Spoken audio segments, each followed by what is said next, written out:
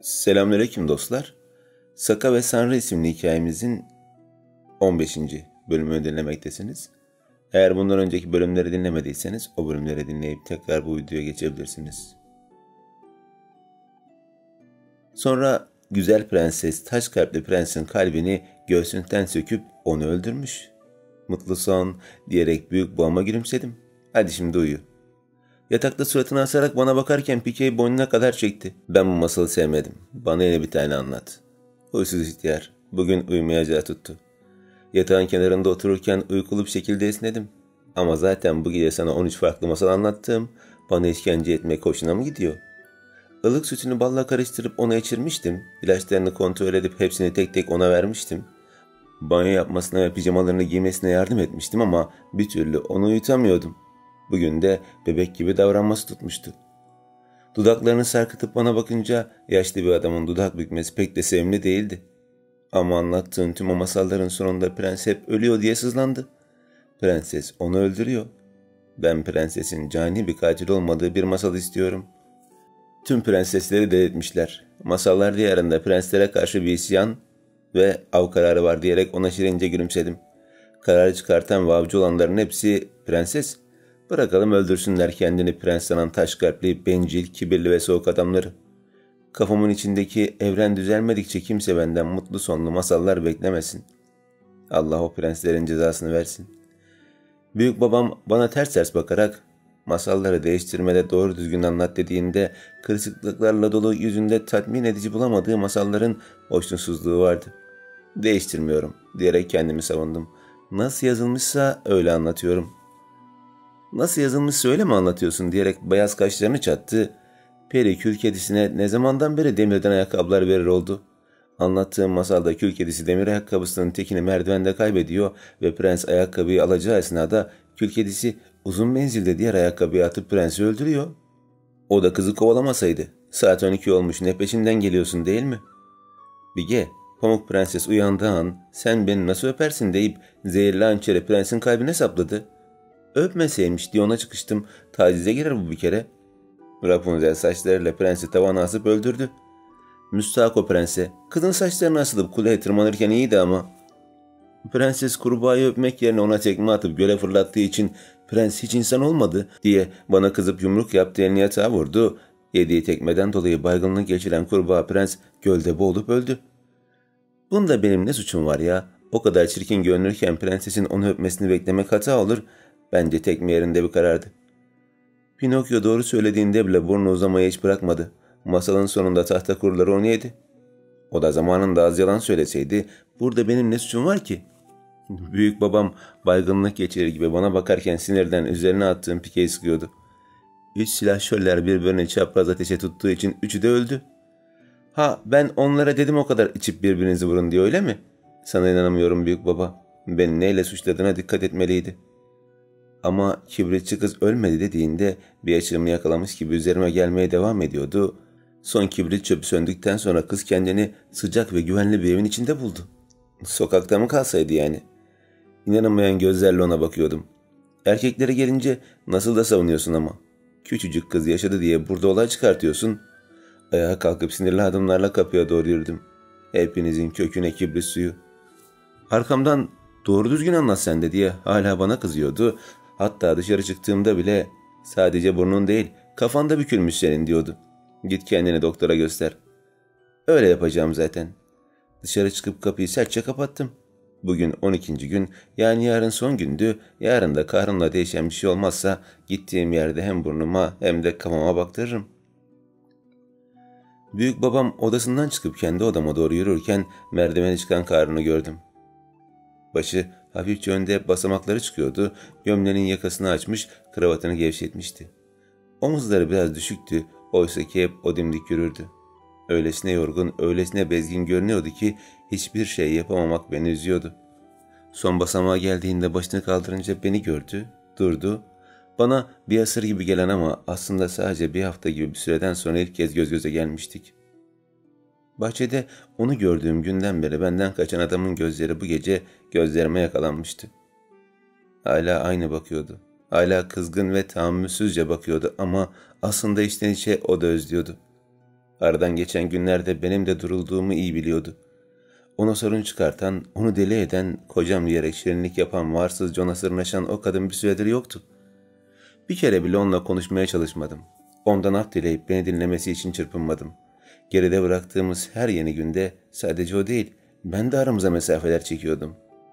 Gökyüzünü kıskandıran mavileri yüzümden biraz aşağılara kaydı, uzun kollu gömleğime ve giydiğim pantolona baktı. Neredeyse tanıştığımızdan beri beni kısa etekler ve dekolteli elbiselerin içinde görmeye alışıktı. Nadiren giydiğim pantolonlar ve uzun kollu gömlekler bir süredir üzümdeydi. Nedense bu durum hoşuna gitmiyor gibiydi. Bakışlarımı ondan çekip biraz fazla aceleci adımların genişliğinde odama doğru yürümeye başladım. Adım seslerini duymadığıma göre hala son basamakta durup öylece arkamdan bakıyordu. Ölçüyü kaçıran bir yarış vardı aramızda ama çok geç olmadan artık iki taraftan biri ilk adımı atmalıydı. Ve Karun'un ağzından. Yanımda öylece geçip gidişini izlerken onu görmek işkence gibiydi ama görmemek daha büyük bir işkenceydi. Onunla ilgili her şey o kadar çok canımı sıkıyordu ki ne onunla olabiliyordum ne de onsuz. Hangi ara böyle isterek düşüncelere kapıldığımı bile bilmiyorum. Karımla ilgili olan her şey sinirlerime dokunmaya başlamıştı. Odama çıkmaktan vazgeçip merdivene tekrar inmeye başladım. Onunla aynı çatı altında kalmaya bile dayanamıyorum. Neden hala gitmiyor ki? Onu burada istemiyorum ama git de diyemiyorum. İkimiz için buna bir son vermek için artık gitmeliydi. İstenmediği bir yerde daha fazla durmak yerine gitmeliydi. Peki gidişine hazır mıydım? Doğa ile ilgili şeyler aklıma gelince kaşlarımı çattım. Evet gidişine hazırdım. Dışarı çıkıp arabayı hazırlayın dediğimde bahçedeki çocuklardan biri koşarak garaja gitti. Karanlık havanın serin rüzgarını içime çekerken sanki her zamankinden daha fazla üşüyordum. Arabamı getirdiklerine kapıyı benim için açan çocuk ''Nereye gidiyorsunuz Karun Bey?'' diye sorunca uzattığı anahtarı aldım. Veraya. Gideceğim yeri önceden bilmeleri lazımdı. Daha ben oraya ulaşmadan orayı benim için güvenli bir hale getirmeleri gerekiyordu. Arabaya binip çalıştırdığımda korumaların çoğu arabalarına atladı. Birbiri ardına malikaneden ayrıldığımızda bana eskortluk yapan arabanın öne geçmesine izin verdim. Az önce nereye gideceğimi söylediğim için bu bilgi çoktan öndeki arabaya ulaşmıştı. Gideceğimiz yeri biliyordu. Vera, bana ait gece kulüplerinden biriydi ve bu gece kendimden geçene kadar içmek istiyorum. Tıpkı bundan önceki gecelerde yaptığım gibi. Telefon çaldığında onu cebimden çıkarmadan kulağımdaki bluetooth kulaklığa dokundum. Evet dediğimde kimin aradığına bakmadan gelen aramayı kabul etmiştim. Merhaba Karun. O adamın aşağılık sesini duyunca tuttuğum direksiyona sıkmaya başladım. Hala ne yüzle beni arıyordu. Sana kaç kez beni aramamanı söyledim. Sesim sert çıkarken şu anda onunla konuşuyor olmak bile midemi bulandırıyordu. Konuşmalıyız. Seninle konuşacak bir şeyim olamaz Eşref Bey. Sinirli çıkan sesimin aksine onun sesi sakindi ama bunu uzun sürmeyeceğini biliyordum. Evlendiğini öğreneli çok oldu ama hala karını bizimle tanıştırmadın. Sence de annem ve babanla onu tanıştırmanın zamanı gelmedi mi? Sesinde buram buram samimiyetsizlik akarken asıl amacını gizleyemiyordu. Sakayı bahane ederek nabız kontrolü yaptığını yeteri kadar iyi gizleyemiyordu. Eğer bir daha karımdan bahsedersen orduya bizzat gelir ve seninle özel olarak ilgilenirim diyerek biraz nefes almak için camı araladım. Sadede gel ve ne söyleyeceksen karımı bu işe dahil etmeden söyle. Lafı dolandırmanın işe yaramayacağını bildiği için gülen sesini duydum. Duyduğuma göre gurur geri dönmüş. Bu doğru mu? Yanında o nokta noktayla. Yine senin peşine düşecek diyordun kopuyor değil mi? Etekleri tutuşmuş olmalı. Ne de olsa Levent bana yaptığı gibi onu da durduramıyor. Levent'in ona olan yoğun sevgisi olmasaydı çoktan işini bitirmiştim ama buna en son kalkıştığımda neredeyse kardeşimi kaybediyordum. Gerçek anlamda onu kaybediyordum. Babam olacak herif hala yaşıyorsa bunu Levent'in sevgisine borçluydu. Gurur benim için hiçbir zaman bir tehdit olmadı. Tıpkı senin de olmadığın ve olamayacağın gibi. Kendisine fazla güveniyordu. Oysa ki gerçekler bunun tam tersiydi. Emin misin? Dudaklarım kıvrıldı. Bu yüzden mi her gece yatmadan önce odanın kapısını hep kilitliyorsun? Bu yüzden mi içtiğin suyu bile önceden birilerine tattırıyorsun? Bu yüzden mi etrafında etten duvarlar olmadan bahçeye bile çıkamıyorsun? Söylesene, korkmadığın için mi herhangi bir yerde ben veya gururun adı geçince oradan hemen kaçıyorsun? Sence senden kurtulmaya karar verdiğimde aldığın tüm önlemler seni benden koruyabilir mi? Levent gerçekleri öğrenseydi bu adama baba bile demezdi. Bırak şimdi bunları dediğinde nihayet asıl konuya geldi. Deftenin nokta noktasından kurtulmalıyız. O kıza parmağın ucuyla bile dokunursan kolunu kökünden kopartırım. Arabayı sağa çekip ellerimi kanatana kadar bir şeyler yumruk atmak istiyordum. Bu konunun açılması bile benim için ekstradan bir işkenceydi. Tüm gücümle direksiyonu sıkarken damarıma basmayı bırak Eşref Bey yoksa bu sefer Levent bile seni benden kurtaramaz dedim. Kıza dokunmayacağım ve sen de dokunmayacaksın. Eceliyle ölürse ölür ama ne sen ne de ben onun Azrail'i olmayacağız. Annesinin defne olduğu bir çocuğu istesem de öldüremem veya öldürtemem. Kalan hayatını bizden uzakta geçirmeliydi. Onun varla ortaya çıkarsa neler olacağını iyi biliyorsun diyen sinirli sesini duyduğumda kan benime süredi. Yaradan beni böyle bir babayla cezalandırıyordu. Ortaya çıkmayacak. Böyle bir şey olmayacak dedikten sonra telefonu yüzüne kapattım. Soy öyle bir illet ki ne kadar uzağa kaçarsan kaç hep peşinde gelirdi. Köklerimin bağlı olduğu herkesten midem bulanıyordu. Gurur, Çağıl ve Levent dışındaki kimseyi alemden bir olarak kabul etmedim ve etmeyeceğim. Bir süre sonra arabayı veranın önünde durdurdum. Arabanın anahtarını bizim çocuklardan birine verdikten sonra peşinden gelen korumalarla içeri girdim. Beşiktaş'ın en gözde mekanlarından biri olan bu yere son zamanlarda her gece uğruyordum. Burası benim bölgemdi ve iznim olmadan diğer bölge liderleri bile destursuz bir şekilde bana ait bir yere giremezdi. Hemen karşısında doğa denen nokta noktanın mekanı olması canımı sıkan şeylerden biriydi. Üst kata çıkarken beni gören herkesin gereksiz selamlarına dudak bükmekle yetindim. Bu gece istediğim şey fazladan saygı değildi. Sadece sarhoş olmaktı. Üst çıkıp sadece bana ait locaya girdiğimde korumaların hepsi dışarıda kaldı. Etrafımda pervane olan garsonlar ne istediğimi bildikleri için beni fazla bunaltmadan masaya her zaman şeylerle donattılar. İçkimi yudumlarken kafamdaki tüm düşüncelerden kurtulmak için aşağıda dans eden insanları izlemeye başladım. Neon ışıkların altında sarmaş dolaş dans eden, birbirine sürtünen bedenleri boş gözlerle izliyordum. Erkeklerin dudaklarında bir gülümseme, kollarına aldıkları kadınların dudaklarında tatlı bir kıkırtı vardı. Gerçekten göründükleri kadar mutlular mı? Her şeyin sahibiyim. Ama bu mutluluk denen illeti satın almanın bir yolu yoktu. Dans eden insanları izlerken aşağıda yanıp sönen ışıkların yüzüne yansıdığı bir kadın dikkatimi çekti. Işıltılı gümüş tonlarında kısa bir elbise giymişti ve güzel görünüyordu. Dikkatimi çeken bu değildi. Kaşlarının altına kadar kestirdiği kakülüydü. Kakülü hatta uzun saçlarının düz kesimi bile bana sakayı hatırlatıyordu. Her istediğim yerine getirmek için belli bir mesafeye duran garson, ''Efendim onu buraya getirmemi ister misiniz?'' diyerek hep olduğu gibi beni memnun etmeye çalıştı. Nereye baktığımı gördüğü için aşağıdaki kadını işaret etti. Senem Hanım, büp üyelerimizden biri ve buraya her gelişinde sizden bahsediyor. Kadın izlendiğini hissetmiş gibi başını kaldırıp benim olduğum yere doğru bakmaya başladı. Bulunduğum locanın ışığı kısıktı bu yüzden beni net bir şekilde göremiyordu ama gölgemden burada olduğumu artık biliyordu. Bu uzaklıkta bile ne istediğini bilen gözlerinin kısıldığını görebiliyorum. Kırmızı rujun süslediği dudakları bir kadının karşı konulmaz cazibesini yansıtırcasına kıvrıldı. Daha sonra tekrar dans etmeye devam etti. Etrafındaki erkekleri savuşturdu ve kendini göstermeye başladı. Bunu yaparken başını kaldırıp benim olduğum yerden bir saniye bile gözlerini ayırmıyordu. Artık kimin için dans ettiği belliydi. İzlediğim kadına karşı içimde zerre bir arzu oluşmazken saçları hep böyle miydi diye sordum. Kahverengi ve kaküllü mü? Garsonun hayır efendim diyen sesini duyarken küçük yudumlarla üskümü içmeye devam ediyordum. Saçları sarıydı ve kakülü yoktu. Bir süredir böyle. Dikkatimi çekmek için karıma benzemeye çalıştığı çok aşikardı. Her ne yapıyorsa işe yaradığını inkar edemem çünkü iki dakika boyunca ona bakmamı sağlamıştı.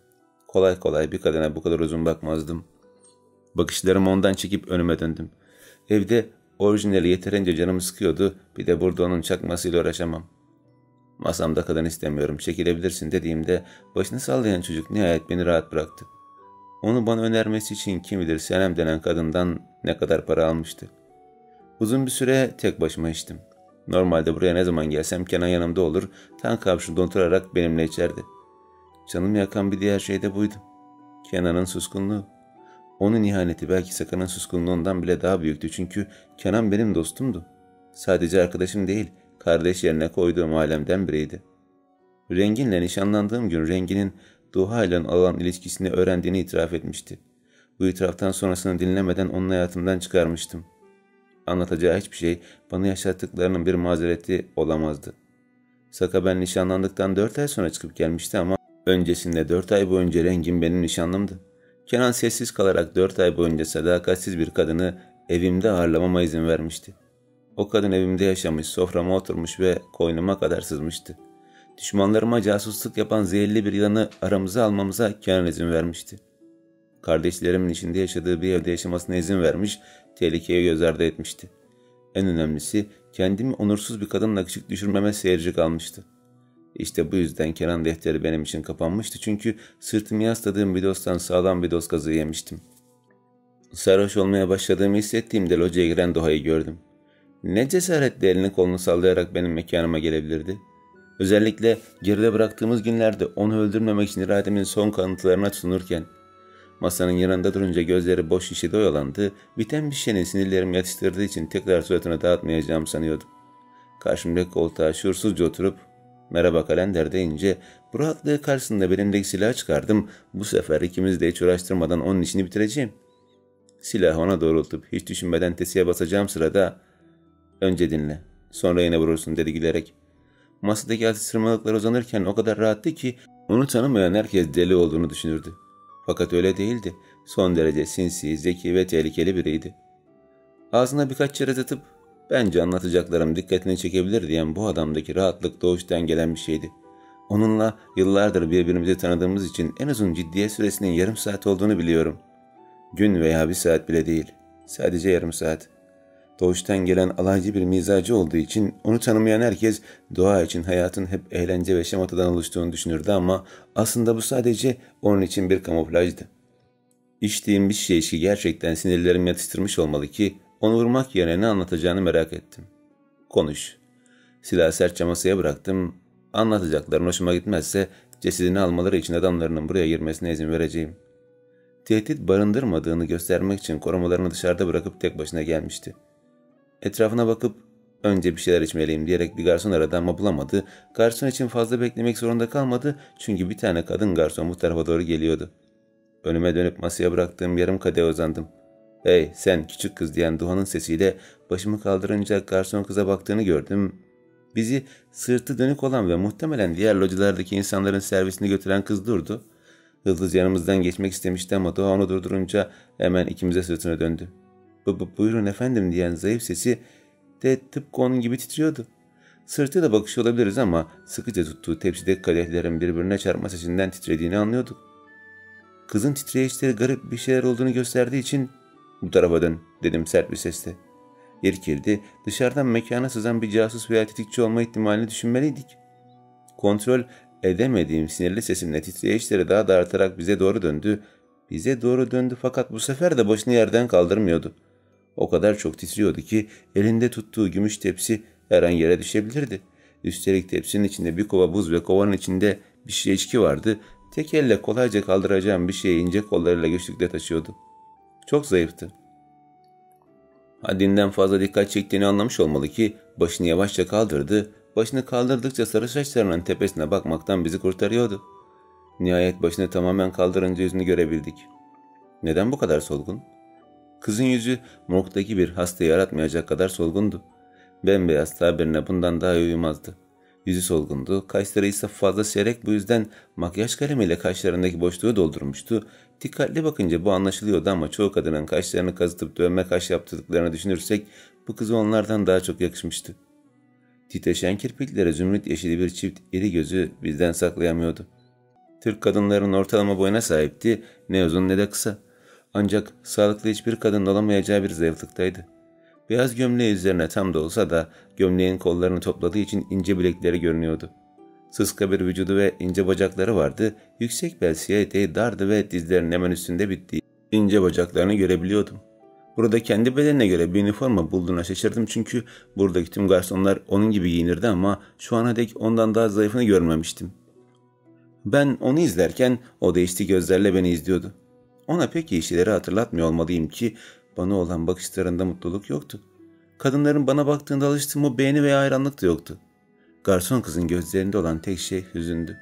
Bir demin değilim ama sanki özlem de vardı o gözlerde. Bana olan bakışlarına bir anlam veremediğim için seni tanıyor muyum dedim soğuk bir sesle. Ruhsuzca sorduğum soru onu kendisine getirmiş olmalı ki başını iki yana sallayıp derin bir nefes aldı.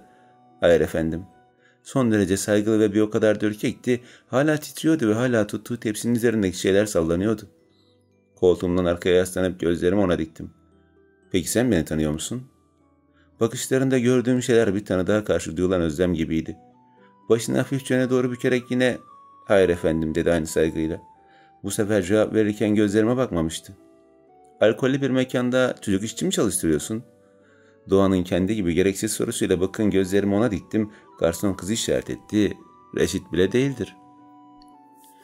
Doğan'ın bu ani çıkışıyla erkek garsonumuz bakışlarını ona çıkardı. 20 yaşındayım efendim dedi ve sahte bir tebessümle devam etti. Arkadaşlarım sizinle ilgilenecektir. Şimdi izninizle Murat Bey'in servisini götürmeliyim. Kız arkasını dönüp gitmek üzereydi Doğa ile göz göze geldik. İkimiz de Murat Çorum'un pedofili bir sapık olduğunu bilecek kadar onu iyi tanıyorduk. Buradaki bir üyelerinden sadece birinin adı Murat'tı ve o da zihniyeti bozuk sapık herifti. Garson kız 20 yaşında olmasına rağmen gerçekten çocuk gibi görünüyordu. Zayıf vücudu ve erkek hareketleri de onu daha çocuksu gösteriyordu. O adamın locasına girerse ilgisini kesinlikle çekebilirdi. Benim mekanımdayken çalışanlarından birine askıntılık yapmaya cesaret edemezdi ama kız radarına girerse sonrası için rahat durmazdı. Daha ben müdahale etmeden Duha, bekle diyerek onu durdurdu. Arkasına yaslandığında bir tek ayaklarına masaya uzatmadığı kalmıştı. Nokta nokta onu. Bu gece bize hizmet edeceksin. Eğer bu çıkışın altında iyi bir niyet olduğunu bilmeseydim, benim mekanımda ve benim yanımda çalışanlarım emir vermesine hoş karşılamazdım. Garson kız ona doğru döndüğünde gözlerinde oluşan korkuyu gizleyemedi. Yanlış bir şey yaptığı için onu cezalandırdığımızı düşündüğü aşikardı. Neden demeyi başarması için onun durumundaki biri için büyük bir şeydi. Duhan'ın dudakları küstahça büküldü. Çünkü ben öyle istiyorum. Küçük garsonun kaşları kısa bir an çattığını gördüm ama bunu ustaca gizledi. Her istediğiniz hemen oluyor mu böyle? Duha güldü. Şu karşımda oturan nokta nokta olmasa aslında her istediğim hep oluyor. Yakın zamanda havaya uçurduğum yazlık evinden bahsettiğini biliyorum. O evi almayı çok istiyordu ve aldı da ama ertesi gün hızlı bir şekilde kaybetti. Bunun için pişman değilim. Aslında son iki gündür ona maddi ve manevi verdiğim zararların hiçbirinden pişman değilim. Duhan'ın beni hedef göstermesiyle garson kız önce kısa bir an bana baktı. Daha sonra bir şey yeni fark etmiş gibi Duha'ya dönüp ince sesiyle ''Siz kimsiniz?'' dedi. Karun Bey'in masasına öylece oturma cesareti gösterdiğinize göre siz de önemli biri olmalısınız değil mi diye sordu. Onu tanımadığına göre burada gerçekten çok yeniydi. Daha Duha konuşmadan o önemsiz biri diyerek ona kapıyı işaret ettim. İşine bak artık. Buna dünden razı olduğu için hızlıca başını salladı. Tabii efendim. Titreyen kollarının güçlükle taşıdığı tepsiyi işaret etti. Bunu ne yapayım? Kollarım yoruldu çok ağır bunlar diye sızlanınca neredeyse beni güldürecekti. Garsonluk hiçbir vasfı yoktu. Gülüşünü gizlemeye çalışan Doğa bizim masayı işaret etti. Buraya bırak ve Murat için yerine başkasını gönder. Başını sallayan kız tepsiyi masaya bıraktıktan sonra tekrar bana bakmaktan kendini alamadı. Utangaç bakışlar yanaklarına hoş bir pembelik katarken ona bir kez daha kapıyı işaret ettim. Yalnız bırak bizi çocuk dediğimde bu sefer sesim daha yumuşaktı. Masumiyet utangaçlığına yansırken ona karşı sert olamadım. Sık sık yaptığı bir hareket olmalı ki yine başını hızlıca salladı. Tabii efendim. Arkaya doğru bir adım attığında elleri saygıyla önünde birleşti. Bir arzunuz olursa beni çağırmanız yeterli. Elini kaldırıp bana doğru uzattı. Adım Melek dediğinde benimle tanışmaya can atıyormuş gibi heyecanlı bir ifade vardı yüzünde. Duha ile göz göze geldiğimizde ikimizin birbirimize attığı garip bakışlar çok yeni bir şey yaşıyor olmamızdan kaynaklanıyordu. Garsonlar genelde masamızda bu kadar uzun kalmaz veya doğrudan bizimle tanışmak için elini uzatmazdı. Nedendir bilmiyorum ama kızın yeşil gözlerini kırpıştırması ve sıkmam için titreyen elini uzun süre havada tutması onu geri çevirmemi engelledi. Elimi kaldırıp elini tuttuğumda eli avucumun içinde kaybolacak kadar narin ve küçüktü. Canını yakmak istemediğini hafifçe sıktım ve Karun diyerek ona istediği tanışmayı sundum. Gülümsedi. Ne güzel gülüyor. Yanındaki Gamze de ortaya çıkaracak kadar iştendi gülüşü. Onun elini çekmeye niyeti olmadığı için ben elimi çektim. Dudaklarındaki o güzel gülümsemeyle Duha'ya dönüp ona da elini uzattı. Melek diyerek ona da kendini tanıtınca Duha da kızın iç ısıtan gülümsemesini yüzünden silmek istemedi. Duha diyerek onun eline sıktı. Doğa gibi mi dedi kız. Ve böylece Doğa'yı da güldürdü. Düşmanlarım için daha çok beddua gibi diyerek ona göz kırpınca kız kıhırdadı. Doğa onun eline tıpkı benim gibi incitmekten korkarcasına hafifçe sıkıp bırakınca garson kız izninizle efendim diyerek son kez bize tebessüm etti ve masamızdan ayrıldı. Başını çevirip onun arkasından bakan Doğa masumiyeti yüzüne yansıyor dedi. Bu çocuğu burada tutma kalender. Çok kolay harcarlar. Ona başka bir yerde iş ver. Otellerinden birinde resepsiyonda çalışabilir. Çocuklara karşı her zaman fazla korumacı biri olmuştur. Garson kız 20 yaşında olduğunu söylemesine rağmen görünüşü, hal ve hareketlerinden Duha onu bir çocuk olarak görüyordu. Bir garsonla ilgilenmekten çok da önemli işlerim vardı ama o da isterse neden olmasın dedim. Burak gibi adamlara hizmet etmesinden daha iyi olabilirdi. Senin daha az uğradığın bir yerde çalışmak onun hoşuna gitmeyecektir. Kinaye barındıran gözlerini buna dikti. Sen nasıl baktığını görmemiş olamazsın. Kirli düşüncelerini kendine sakla. Kademdeki viskiyi tek bir dikişle içip boş kadeyi masaya bıraktım. O çocuğun bakışlarında herhangi bir beğeni veya arzu yoktu. Daha çok hayranlık diyebilirim ve anlam veremediğim bir şekilde özlem. Tepsideki iki kadeyi masaya koyup kovadaki şeyi alan Duha, seninle konuşmak için biraz sakinleşmeni bekliyordum diyerek kadehlerimizi doldurmaya başladı. Şu 12 günde maddi yönden bana birçok zarar vermen seni yeteri kadar sakinleştirmiş olmalı. Her bir saldırının karşılığını vermemiş gibi konuşması bende suratını dağıtma isteği uyandırıyordu. Önüme ettiği kadehi aldım, birazcık sarhoş olmama aldanma. Eğer bir önce konuşmazsan her an masadaki silah kullanabilirim. Onu hala öldürmemiş olmam bile onun için bir mucizeydi.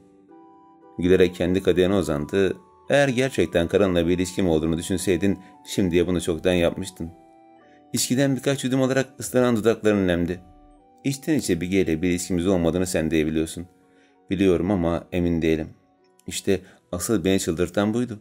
Şüphelerimi doğrulayacak hiçbir kanıt bulamamak. Avludaki o yüzleşmeden sonra ikisinin arasındaki ilişkiyi en ince ayrıntısına kadar araştırdım ama hiçbir şey bulamadım. Bu beni rahatlatmalıydı ama Duhan'ın delileri saklama konusunda ne kadar iyi olduğunu bildiğim için asla emin olamıyordum. İçime düşen şüphe beni yiyip bitiriyordu. Haklı olmasını her şeyden çok istiyordum ama ya değilse? Renginle yaşadığım şeyi karımla da yaşıyorsam, o da beni Duha'yla aldatıyorsa, farkında olmadan Duha'dan rengini çalmıştım, bunun karşılığı olarak neden o da aynısını bana yapmasın? Sonuçta bizi evlendiren oydu ve avluda ikisi de birbirini korumaya çalışmıştı. Ya Duha ona çalışan bir kadını karım yaptıysa ve onunla bir ilişki içindeyse, içinde bulunduğum şartlarda kimse böyle düşündüğüm için beni suçlayamazdı. Çünkü Saka benden gerçekleri saklayarak sürekli bu tür düşüncelere yer veriyordu. Bir ilişkiniz yok öyle mi? Ne kadar sinirli olduğumu istesem de gizleyemiyordum. Sert bakışlarla ona bakarken bu yüzden mi seni benden sakladı dedim kan donduran bir sesle. Beni korumak için değil. Başlarda Serhat'ı korumak için gerçeği sakladı. Bu konuda konuşmak beni rahatsız ettiği kadar onu da rahatsız ediyor olmalı ki sıkıntılı bir şekilde nefesini koyuverdi. Daha sonra da kademi korumak için sustu çünkü onun Uğur olduğunu hissettiği için onu sevdi. Nikah için gereken her şeyi kademin yaptığını biliyordu sonuçta. Başını omzuna doğru eğip bu gerçeği kabullenmemi ister gibi bana bakmaya başladı. Her iki durumda da benim için susmadı. Kaşlarımı çatmaktan kendimi alıkoyamadım. Avluda birbirinizi koruyordunuz dedim sertçe. Karım benim değil senin konu istiyordu. İyi bir insan olduğu için olabilir mi? Açıklama gereği duydukça izbe karanlıklarda boğuluyormuş gibi hızlı soğuklar alıyordu. Rahat nefes almak için burnunda kravatı sağa sola çekiştirdi. Orada tek başıma kaldığımı gördüğü için bana yardım etti ve ben de ona yaptıklarıma vicdan azabını çektiğim için bunları sana anlatıyorum. İki kişinin konuştuğu mahrem bir konuşmayı zamanın içine gömmek ister gibi dişlerini sıktı. Eflatun bir elbiseyle onu intihara zorlayan seni bile korumadı mı? Seni güven ve renginin tuzağından korumak için kaçırmadı mı? Dediğinde bazı şeyleri düşünmem için beni zorlamaya başladı. Ona yaptıklarına rağmen seni bile koruduysa benim için niye aynı şeyi yapmasın? Anla artık karım böyle biri. Sevdiklerine yapılanları asla affetmiyor ama ona yapılanları bir şekilde görmezden geliyor. Oturuşunu dikleştirip bana doğru biraz eğildi. Senin haberin olmadan onunla kaç kez görüştüm gerçekten bilmek istiyor musun? Elimde tuttuğum kadeyi sıkmaya başladığımda gerçeği bilmek istiyor muyum emin değilim. Bu şekilde bir yanım Saka'yı suçlasa da bir yanım onu savunuyordu. Ya tüm şüphelerimde haklıysam o zaman ne olacaktı? Onu boşayıp hiçbir şey olmamış ve yaşamamış gibi doğaya gitmesine izin mi verecektim? Nokta nokta ne boktan bir durumun içindeyim. Bir yanım gerçeklerden kaçmak istese de her şeyi bilmek isteyen yanım daha baskın olduğu için anlat dedim sertçe. Bu şüpheyle yaşamaktansa gerçeklerin altında ezilmeyi tercih ederim. Dinlemek istediğimi görünce memnun bir ifadeyle yeniden koltuğa yaslandı ve bir bacağını diğerinin üzerine attı. Seni bulmak için İstanbul'a geldiğinde, onu havalarında kaçırdım dediğinde damarlarında kan buz kestiği için yoğun bir öfkeyle dolmaya başladım. Onu kaçırma cüretini mi gösterdi? Karımı kaçırdığını mı söylüyorsun? O kadar hızlı ayağa kalktım ki yanına gitmem ve yakasına yapışıp onu ayağa kaldırmam ani saniyeler içinde oldu. Ne cüretle lan? Suratına geçirdiğim yumrukla onu tekrar koltuğa düşürdüğüm için gülmeye başladı. Oğlum sen bir şey devirmişken hala yumruk atacak gücü nasıl buluyorsun? Patlattığım dudağına dokunup parmağındaki kana baktı, yüzünü vuruşturdu.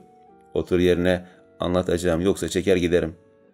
Her ne kadar onu daha fazlasını yapmak istesem de sırf anlatmaya devam etsin diye kalktığım koltuğa geri oturdum. Konuş derken sesimin iddetini kontrol edemiyordum. Onu kaçırdığı için bir yumruktan daha fazlasını hak ediyordu ve bu konuşmanın sonunda hak ettiğini alacaktı. Kanayan dudağı açılmasındaki peçeyi uzanırken rengin yüzünden sana kızgındım ve benimle çalışması için Saka'yı kaçırdım dedikten sonra peçeteyi dudağına bastırdı. Konuşmaya devam ettiğimde dudağının üzerinde hala bastırdığı peçete vardı. Benimle işbirliği yapması için ona güç, para ve ün teklif ettim ama hiçbirine yanaşmadı. Onu ölümle tehdit ettiğimde bile kararını değiştirmediği için kadem ısrarlar üzerine onu bıraktım. Yani ona çalışmıyordu öyle mi? O zaman neden onunla görüşüyordu?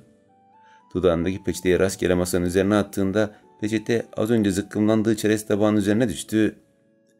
Benimle hiçbir şekilde görüşmemeye kararlıydı ama sen onu buna zorladın dediğinde bu nokta nokta herifin söylediklerinden hiçbir hat anlamıyorum. Duha'yı görüşmesi için ona nasıl zorlamış olabilirim? Hatırla, sinsi yüzünde esrarengiz bir ifade vardı. İstanbul'u terk etmek üzereyken seni hiç aramadı mı? Hakkında çıkan metres haberlerini kaldırman için senden hiç yardım istemedim dediğinde kaskatı kesildim. İstemişti. Allah kahretsin ki istemişti. Evli bir adamla ilişkisi olduğunu ortaya çıkınca asistanıma bir metresle görüşmek istemediğimi söylemiş, telefonuna bakmamıştım. O an bile benden gerçekleri gizlediği için öyle bir yargıya kapılmıştım. Aslında bana her şeyi en başından anlatsa şu anda yaşadığımız hiçbir şey yaşamıyor olurduk. Senden cevap alamayınca beni aradı. Damarıma basmak ister gibi güldü. Bana çalışmasını her şeyden çok isterken onu geri çeviremezdim değil mi? Güvenini kazanmalıydım. Hiçbir fırsatı kaçırmayan aşağılık herifin tekiydi. Aklına her ne geldiyse yüzünde huzursuz bir ifade oluştu. Siyah gözlerinde hoşnutsuzluk kol gezdi. Ona yardım ettim. Hatta evine yerleşmesi için seni kışkırtıp onu eve aldırdım ama buna rağmen bana çalışmaya kabul etmedi. Daha da ileri gittim ve onu ihanete zorladım dediğinde dizimdeki elim yumruk olurken bir celladın bakışlarıyla ona bakıyordum.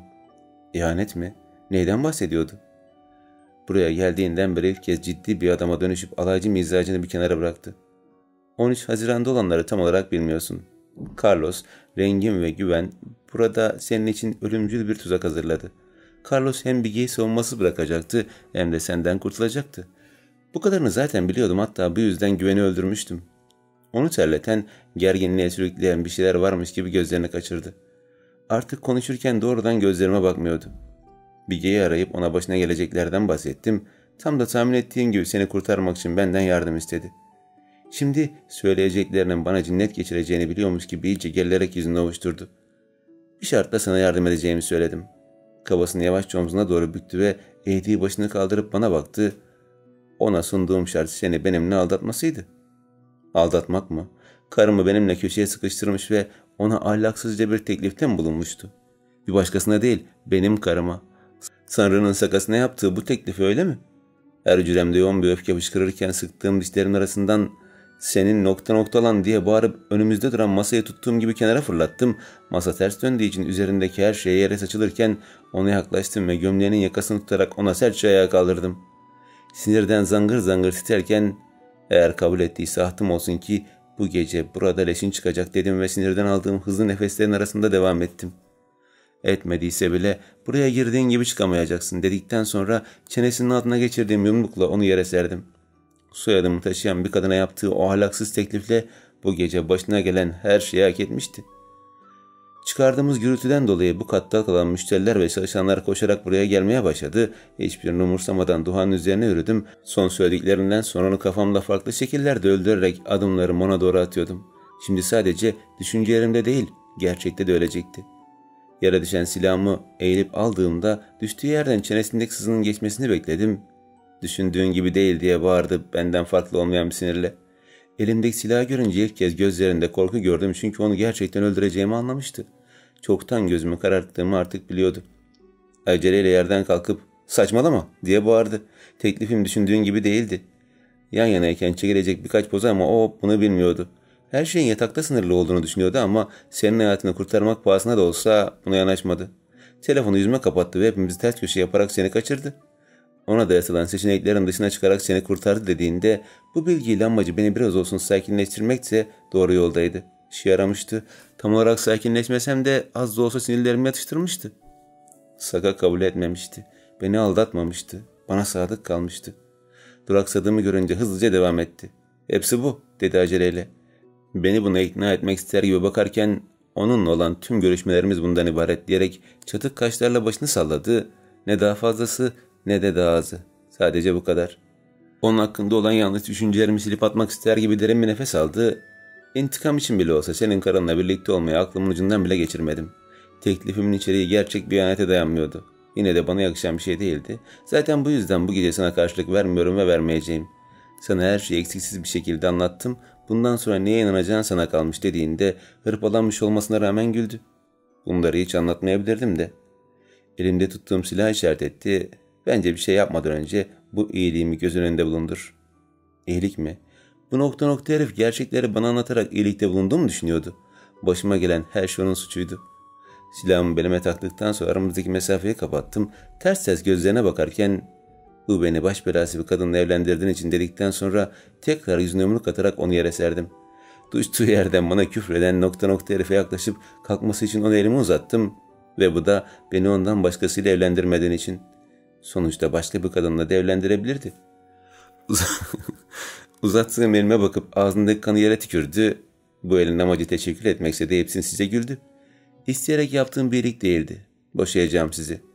Tehdit eder gibi bir nokta nokta sırıtmayla bana bakıyordu. Her şeye kanıtları babasına vermeme bakar. Uzattığım elimi tutunca onu sertçe kendime doğru çekip ayağa kaldırdım. Tebessüm ederek ona bakarken elini sertçe sıkarak canını yakmaya başladım. Öyle bir şey yaparsan dedim sakince. Ani tebessümle o da benim elini sertçe sıkarken yapmamam için ne verebilirsin dedi. Birbirimizle kavga ettikten sonra şimdi birbirimizin ellerine sıkmamız ve sahte bir tebessümle birbirimizi tehdit etmemiz acaba dışarıdan nasıl görünüyordu? Bana şantaj mı yapıyorsun dediğimde hala parmaklarımı kırmak ister gibi elini sıkıyordum. Şantaj mı? Bu çok çirkin bir kelime ben bunu anlaşma derim dediğinde altta kalmamak için sıktığı elimde o da kendi gücünü kanıtlıyordu. Tam olarak ne istediğini söyle. Lafı dolandırmanın lüzum yok. Bana ne istediğini söylemeliydi. Bir süre düşündü ama benden isteyeceği her şeye zaten sahip olduğu için hiçbir şey bulamadı. Bir gün senden bir şey istediğimde onu bana vereceksin dediğinde benden isteyeceği şeyi zamana bırakmıştı.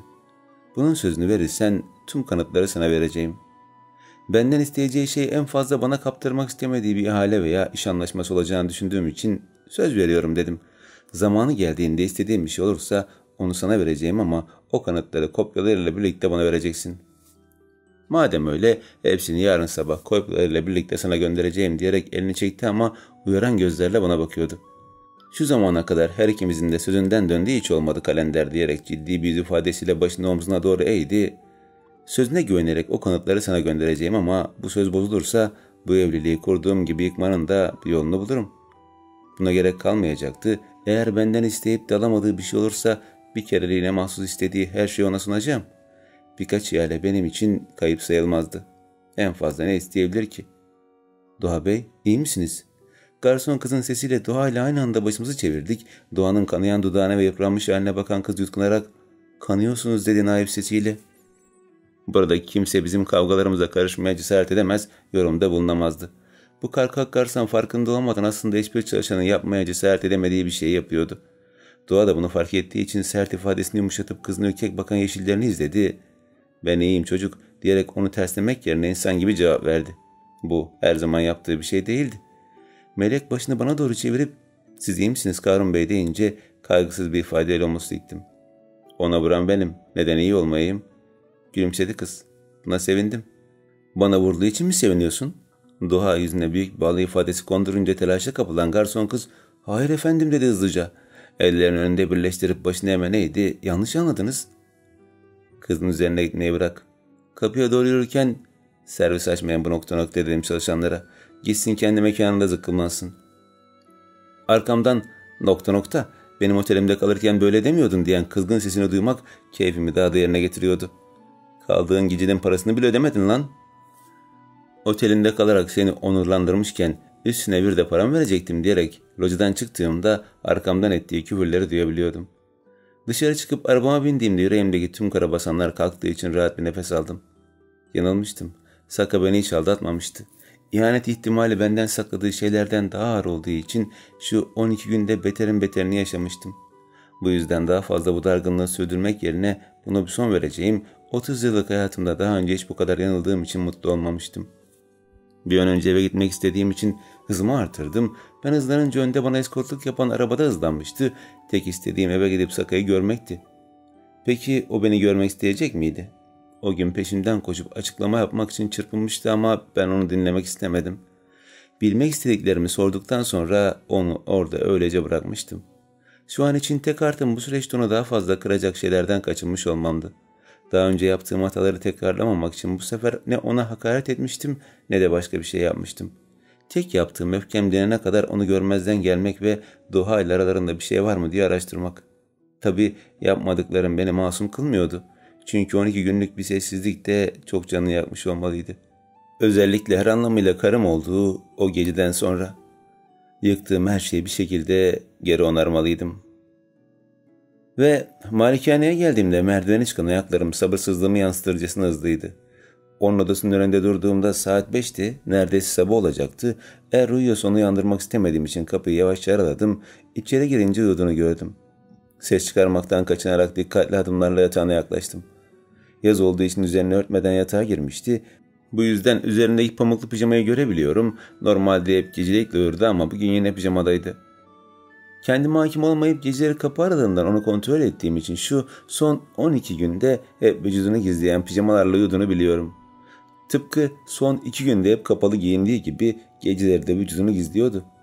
Benimle birlikte olduğu geceden sonra vücudunu gizlemeye başlamıştı. Kendini benden mi gizliyordu? Ne sanıyordu? Onun rızası olmadan zorla ona dokunacağım mı? Ona kızgın olduğum için böyle bir şeye kalkışacak kadar alçak değildim. Aklıma gelen tek şey buydu. Bu yüzden onu ne zaman kapalı kıyafetler içinde görsem sinirleniyordum çünkü bundan nefret etsem de o açık giyinmeyi seviyordu. Bir anda giyim tarzını değiştirmesinin aklıma getirdiği tek şey vücudunu benden gizlemesiydi. Benim aksim o hiç üşümezdi ama yine de ayaklarıyla tekmelerek yere attığı pikeyi aldım. Cenin pozisyonda yatakta uyuyan kadının üzerine örterken içim acıdı.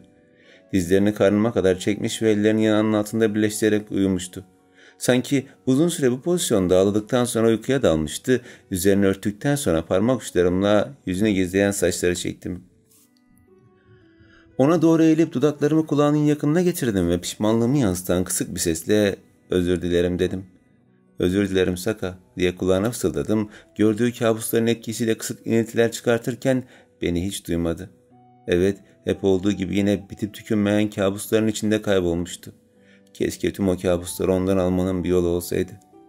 İyice ona yaklaştım ve ondan izinsiz bir şekilde yanağından küçük bir öpücük çaldım.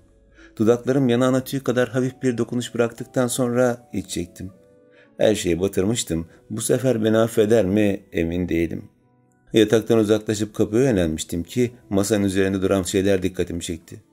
Bunlar daha önce her gün için benden istediği 13 boya kalemi ve 13 şeffaf poşetin içinde olan topraktı. Onlarla ne yapacaktı?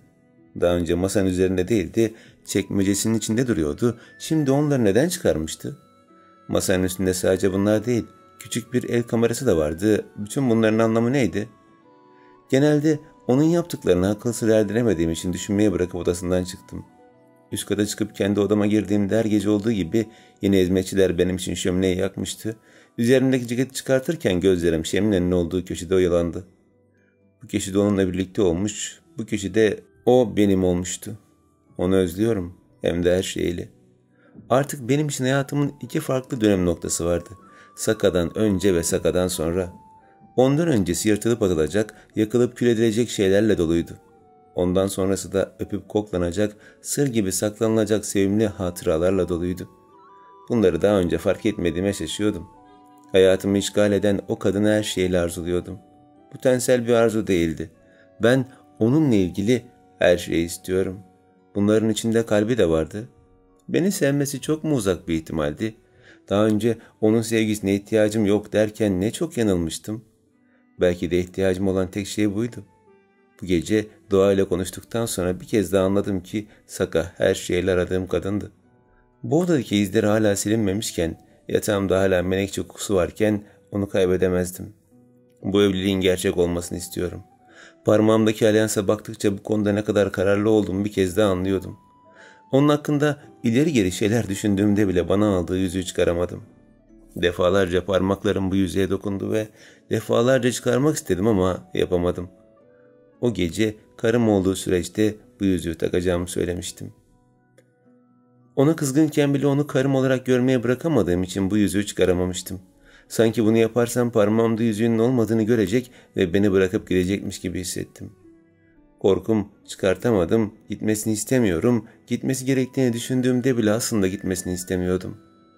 Onu artık bu odada istiyordum.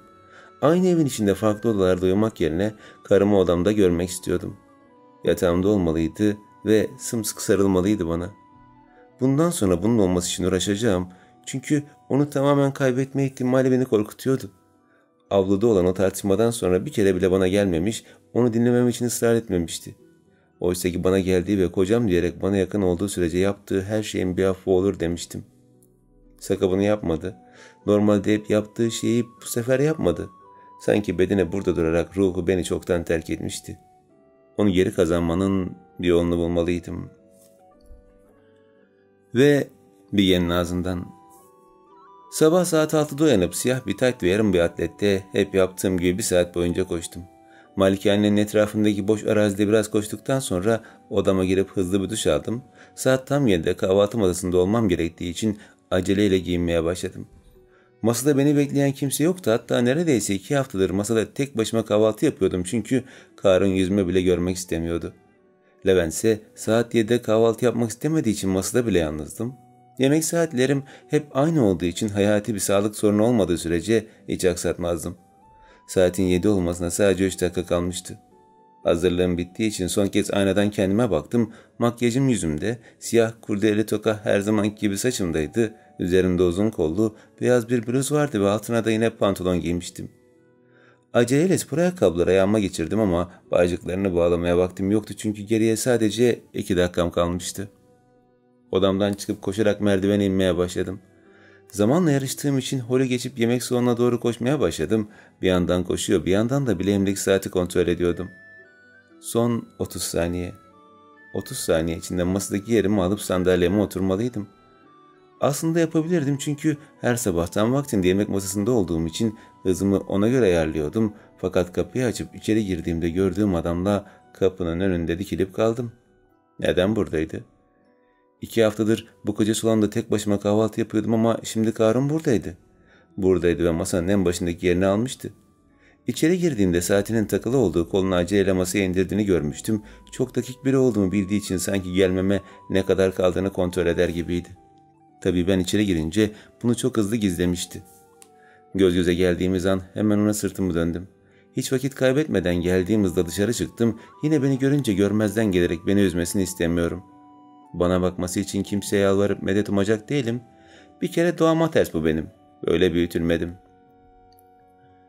Holde hızlı adımlarla ilerlerken ayakkabımın bağcığına bastığım için yere kapaklandım. Yere değen dizlerim fazla acımadı ama gözlerim doldu çünkü acıyan başka yerlerimdi. Daha fazla kendimi tutamadığım için yere bağdaş kurup ağlamaya başladım. Beni bir sandalyeye bağlayıp gece gündüz işkence etseler zerre kadar gözyaşı dökmezdim ama böyle anlarda ağlardım işte. Özellikle son iki haftada olanlar yüzünden. Hizmetçiler yanımdan geçerken bana attıkları o garip bakışlar sinirlerimi bozuyordu. Karun'la aramızdaki gerginliği bilmeyen yoktu. Bu çenesi düşük hizmetçiler iki haftadır benim hakkımda fısır fısır konuşuyor. Karun'un benden ne zaman kurtulacağını tartışıyorlardı. Oysa ki bugün gidecek olan sadece bendim. Bugün 13. gün. Yani bize verdiğim şansın son günüydü. Antrenin ortasında bağdaş kurarak ağlarken bana doğru uzanan bir el gördüm. Başımı kaldırınca ıslak gözlerim bana elini uzatan karnını buldu. Uykusuzluğu gözlerinin altındaki belli belirsiz çizgilere yansırken ''Neden ağlıyorsun?'' dedi yumuşak bir sesle. Soğuk bakışlarının çok ötesinde karşılıklı konuşmaya ihtiyacı olan bir adam görüyordum. Neden şimdi benimle konuşuyordu? Elini tutmadım çünkü düştüm dedim soğuk bir sesle. Gittikçe ondan daha soğuk ve sert birine dönüştüğümü fark ediyor olmalı ki derin bir nefes aldı. Hmm, derdesine garip bir ses çıkartıp başını ağır ağır salladı. Çünkü düştün dediğinde ilgili bir sesle sözlerimi tekrarlamıştı. Zayıf sinirlerinden yararlanmak ister gibi seni ağlatan tek sebep bu mu diye sordu. Benimle konuşmaya çalışmıyordu değil mi? Yüzüme bir alay kesmesi kondurup başka ne olacak dedim ve uzattı elini tutmadan ayağa kalktım. Onun yanından ayrılmak için arkamı dönüp bir adım atmıştım ki ikinci kez spor ayakkabımın bacağına basıp öne doğru tökezledim. Hadi ama ikinci kez düşmeden bu sefer Karun beni belimden yakaladı. Sırtım sertçe onun göğsüne çarpınca ne uğradığımı anlamadım. Hemen arkamda duruyordu ve elleri benim iki yanımdan tutuyordu. Belimdeki elleri ve yaslı olduğum göğsü yüzünden hiç kıpırdamadan öylece kaldım. Dokunuşunu, yakınlığını ve ilgisini özlemiştim. Nefesini saçlarımın hemen üstünde hissedince ürperdim. Sanki burnunu saçlarıma gömmek ve uzun uzun kokusunu içine çekmek ister gibi ılık nefesini saçlarımda hissettim. Fakat yapamadı. Bir adım ötesine geçmeye o da cesaret edemedi. Lakin cesaretini konuşmaktan yana kullanıp ''Saka'' demişti ki kısık sesi içime istediği için hemen öne doğru atıldım ve elleri arasından kayıp merdivene doğru yürüdüm. Kalıp yine beni suçlamasını dinlemeyeceğim. Onu dinlemeden eller arasından sıyrılmama kızdığı için arkamdan akşam hazır ol diyen sinirli sesini duydum. Katılmam gereken önemli bir davet var ve karım olarak sen de benimle geleceksin dediğinde kaşlarımı çıtarak merdivene daha hızlı çıkmaya başladım. Karısıymış. Bu gidişte bir karısı kalmayacaktı. Sonrasında çiçek kapının önünde dikilip Bilge Hanım, Karun Bey iki saattir sizi bekliyor deyince rahatımdan hiç ödün vermeden dudaklarıma kırmızı sürmeye devam ettim. İşine, beklesin. Ruju dudaklarıma yedirdikten sonra kapağını kapatıp küçük el çantamın içine attım. Aynanın karşısına geçip nasıl göründüğüme bakınca kendime inanamadım. Çünkü şu zamana kadar giydiğim en kapalı elbiseyi üzerimde taşıyordum. Uzun kollu, bordo elbisenin bisiklet yakası olduğu için göğüs dekoltesi yoktu. Yakası sadece köprücük kemiklerimi gösteriyordu. Onun dışında hiçbir şey gözükmüyordu. İnce belimi sarıyor ve belimdeki ince altın sarısı kemerinden sonra eteği hafifçe genişliyordu. Elbisemin eteği dizlerimin altına gelecek uzunluktaydı. Siyah sivri uçlu topukları ayakkabılarla uyum içindeydi. Benim giydiğim açık gösterişli ve dekolteli elbiselerden çok farklıydı. Boynuma ince gerdanlıklarından birini takmıştım ve saçlarımı ensenden toplayıp gevşek bir topuz yapmıştım. Pek benim tarzım olmayan bir elbisenin içinde bile oldukça güzel görünüyordum. Dolapta çıkardığım sırt çantamı yatağın üzerine koydum. Parmaklarımdaki yüzükleri çıkarmak belki de en zoruydu ama onlara alışmam gerektiğini biliyordum. Onun yüzükleri benim parmağımda olmamalıydı. Her ne kadar onları sevmiş olsam da. Önce tek taşı daha sonra da içinde adı yazan aryansı çıkartıp masanın üzerine bıraktım. Bunu yapmak, onu terk etme kararı almaktan daha zordu benim için. Akşam çoktan olmuştu. 13 günün dolmasına sadece birkaç saat kalmışken daha fazla istenmediğim bir yerde kalmayacağım. Yatağın üstüne bıraktığım dantelle bordo eldivenleri takarak boş parmağımı gizledim. Bu geceki kaçış planımda ona yakalanmak yoktu. Bu elbiseyle pek uyumlu değildi ama içinde pasaportumun da dahil önemli eşyalarım olduğu için sırt çantamı aldım. Onun evinden bir bavulla değil küçük bir sırt çantasıyla ayrılıyordum. Oysa ki bundan iki hafta önce hep burada kalacakmışım gibi alışveriş yapmış ve birçok şey almıştım. Onun parasıyla değil, hepsini kendi paramla almıştım hatta parmağımdaki yüzüğü bile. Evli olduğumuz süre içinde Karun'un parasını kabul ettiğim tek an parmağına taktığı yüzüklerdi. Odadan çıktığımda merdivenlere gelince beni basamakların en altında beklediğini gördüm. Geç kalmış olmalıyız ki bileğindeki saati kontrol ediyordu. Sabırsızca başını kaldırınca beni gördü, donup kaldı. Kendime yakıştırmadığım bir elbiseyi o bana yakıştırmış olmalı ki gözlerindeki büyüleyici bir ifade oluştu. Beğendiğini, beni güzel bulduğunu görebiliyorum. Dudaklarını aralayıp tam bir şey söyleyecekti ki başım eğerek merdiven inmeye başladım. Ne söyleyeceğini bilmediğim için onu dinlemeye cesaretim yoktu. Son basamağa inip yanımdan geçeceğim esnada kolumu tutarak beni durdurdu. Yan tarafımda olduğu için o bana bakıyordu, bense dümdüz bir şekilde karşıma. Saka demişti ki kolumu sert yerinden çekerek kapıya doğru yürümeye başladım. Sıcak sesiyle önce beni umutlandıracaktı sonra da onu aldattığımı savunup bana verdiği küçük umudu ellerimden çekip geri alacaktı. Daha fazla beni kandırmasına izin vermeyeceğim. Dışarı çıktığımda peşinden gelirken o çanta neyin nesi dedi huzursuz bir sesle. Şoförün bizim için açtığı kapıdan arabaya binmeden hemen önce üzerimi değiştirmem gerekirse diye içinde yedek kıyafetim var dediğimde Bana inanmayı seçtiği için hiç sorgulamadı. Oysa ki elbise çantanın içinde kırışırdı. Yanıma elbise alsaydım askılı kılıfın içine koyup arabaya asardım. Karşıma oturmak yerine yanıma oturunca cama doğru iyice kayarak aramıza çantayı koydum. Bu hareketim onun tarafından derin bir iç çekiş olarak bana dönmüştü ama umursamadım. O, beni izlerken ben başımı cama yaslayıp hareket eden arabada yolu izlemeye başladım. Dün gece büyük babamın odasından çıktığımda git dercesine bana bakıyordu gözleri. Gitmemi ister gibi bakıyordu. Onunla gereksiz bir sohbetin içine girip bana git demesini beklemeyeceğim. Öyle olmasa bile artık onu dinlemek istemiyorum. Şu birkaç saatte yapacağı hiçbir şey onu affetmem için yeterli olamazdı. Artık o kalmamı istese bile ben kalmayacağım. Sonrasında anladığım kadarıyla iş ortaklarından birinin evinde verdiği bir davetti. Tüm arabalar bahçeye sığamayacağı için korumaların arabaları dışarıda dururken sadece Karun'un arabası bahçeye girmişti. Korumaları dışarıda bırakıp içeriye tek başına girmek ne kadar güvenli bilmiyorum ama Karun bunu sorun etmiyorsa vardır bir bildiği. Bahçeye girdiğimizde gördüğüm gazetecilerle yutkundum. Bu da ne demek oluyor? Başımı çevirip karnına baktığımda gazetecilerin burada olmasını bekliyormuş gibi şaşırmadı. Arabaya başlarken sonunda yüzüne baktığım için memnun bir ifadeyle İçişleri Bakanı'nın verdiği özel bir davet. Gazetecilerin olmaması tuhaf olurdu diyerek gözleriyle giren çıkan herkesi çeken gazetecileri işaret etti. Endişe etme. Konulukları rahatsız etmemeleri için içeri girmeleri yasak. Büyük bir kinaya barındıran gözlerle somurtan yüzüme baktı. Yapman gereken tek şey içeri girene kadar suratını asmaman. Neden? İnsanlar aramızdaki evliliğin sahte olduğunu anlamasın diye mi? Saka. İniyorum ben aşağıya. Bekle diyerek kaşlarını çattı. 12 gün boyunca beni görmezden gelirken iyiydi ama ben yapınca kızıyordu. Bugün diğer günlerden biraz farklı davranıyor diye her şeyi unutacak değildim. Bana sert çıktığı için kendine kızar gibi dudaklarını birbirine sımsıkı bastırdı ve burnundan derin bir nefes aldı. Tüm gazeteciler buradayken benden önce inme. Şimdi bakışları daha alımlıydı. Bu kadarını yapabilir misin? Cevap vermek yerine önüme dönüp beklemeye başladığımda kısık bir sesle bir şeyler omurdandı. Şoförün onun için açtığı kapıdan indikten sonra arabanın etrafında döndü ve kapımı açtı. İnsanların gözlerine boyamayı seviyorsun diye söylenerek uzattı elini, tuttum ve arabadan indim. Normalde bu kadar kibar değilsin. Arabadan indiğimiz an tüm flaşlar yüzümüzde patlarken dudaklarına sahte bir gülümseme kondurdu. Sana karşı kaba olduğumu mu düşünüyorsun dedi kısık bir sesle. Dalga geçiyor olmalı. Aynı sahtelikle tebessüm edip uzattığı koluna girdim. Olmadığım bir gün var mı? Gazeteciler etrafımızı sarmak için koşturarak bu tarafa doğru gelirken onun kolunda ilerliyordum. Solundaydım. Yönümüz tamamen gazetecilere bakarken elini kolumdaki elimin üzerine koydu. Evden önce seninle konuşmak istediğim şeyler var dediğinde işaret parmağıyla eldivenin üstünden elimi hafifçe okşadı. Artık konuşmamızın zamanı geldi. Karun Bey Hazretleri konuşmak istemiş. Nasıl hayır derim. Bulursa konuşur tabi. Yapma böyle dedi. Yaptıklarına say dedim. Gazeteciler etrafımızı sardığı için kısık sesli olan konuşmalarımız son bulmuştu. Şimdi birçok kamera ışığının altındaydık. Aynı anda uzatılan birçok mikrofon ve peş peşe gelen birçok sorunun içinde bulmuştum kendimi. Dik dursam da o cepliklere alışık olmadığım için gerildim. Karun bunu hissetmiş olmalı ki kolunu yavaşça çekti ve elini belime koyarak beni biraz daha yakınına çekti.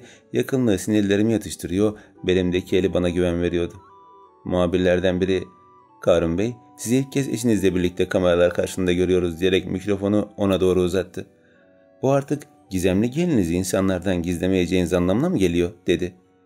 Sık sık gazete manşetlerine konu olduğu için benim aksime çok rahat olan Karun Değerli olan şeyler iyi gizlenmeli diyerek kalbimin hızını arttırmayı başardı. Başını çevirdi ve bir süre gözlerime anlam veremediğim bir sıcaklıkla bakıp ben de öyle yapıyorum dedi. Daha çok uğursuz şatosunda gelinine işkence yapıyordu ama neyse. Ani evliliğiniz akıllarda birçok soru bıraktı diyen bir başka muhabir mikrofonu yine ona uzattı. Bilgi Hanım'la nerede ve nasıl tanıştınız? Çalışma odamda deyince afalladım çünkü onunla ilk şirketteki ofiste tanışmıştık ne demek çalışma odası? Bu sefer mikrofon bana doğru uzatıldı. Karun Bey gibi ünlü bir insanın eşi olmak zor olsa gerek bir yanım. Siz bunu nasıl yorumluyorsunuz deyince dudaklarımdaki sahte tebessümü gizlemeye çalıştım. Kendine göre bir zorluğu vardır elbet ama benimle evli olmak da kolay değildir diyerek gülümsedim. Bence sevgili kocamın işi daha zor. Ne demek istediğimi sadece Karun anladığı için kısık gülüşünü duydum. Bu geceden sonra benimle evli olmanın zorluğunu yaşayacaktı. Biletimi bile aldım. Şehir dışına değil, bu sefer ülke dışına kaçıyorum. Bir arkeolog olarak yeni bir maceraya atılacağım. Muhabirler bir süre daha sorular sormaya devam ettiler. Kaçmak yerine onların tüm sorularına cevap vermeye çalıştık ama bir süre sonra onların arasından sıyrılıp köşke doğru yürüdük. Merdiveni çıkarken yine karnının kolundaydım. Çok garip diye mırıldandım. O kadar soru sordular ama işlerinden biri bile Rengin, Serhat veya Elay'dan bahsetmedi. Evli bir adamla yaşadığım ilişkiyi uzun uzun kurcalarlar diye bekliyordum. Güldü. Cesaret edemezler dediğinde gülüşünde karanlık bir şeyler vardı. Hayatlarının kalanını huzur içinde geçirmek istiyorlarsa soracakları sorular konusunda seçici olmalılar. Gücünü konuşturacak işleri yoluna koymak en iyi yaptığı şeydi.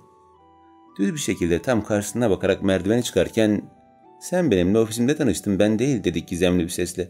Başını omzunun üzerinden çevirip kısa bir an bakış attı. İlk kez çalışma odamda fotoğrafınla tanıştım. Sen daha sonra geldin. Son gelen olabilirim ama bu gece ilk giden olacağım. Sonrasında daha önce sadece gazetelerde gördüğüm ama bizzat hiç tanışmadığım insanlarla sahte bir muhabbetin içine girmiştim.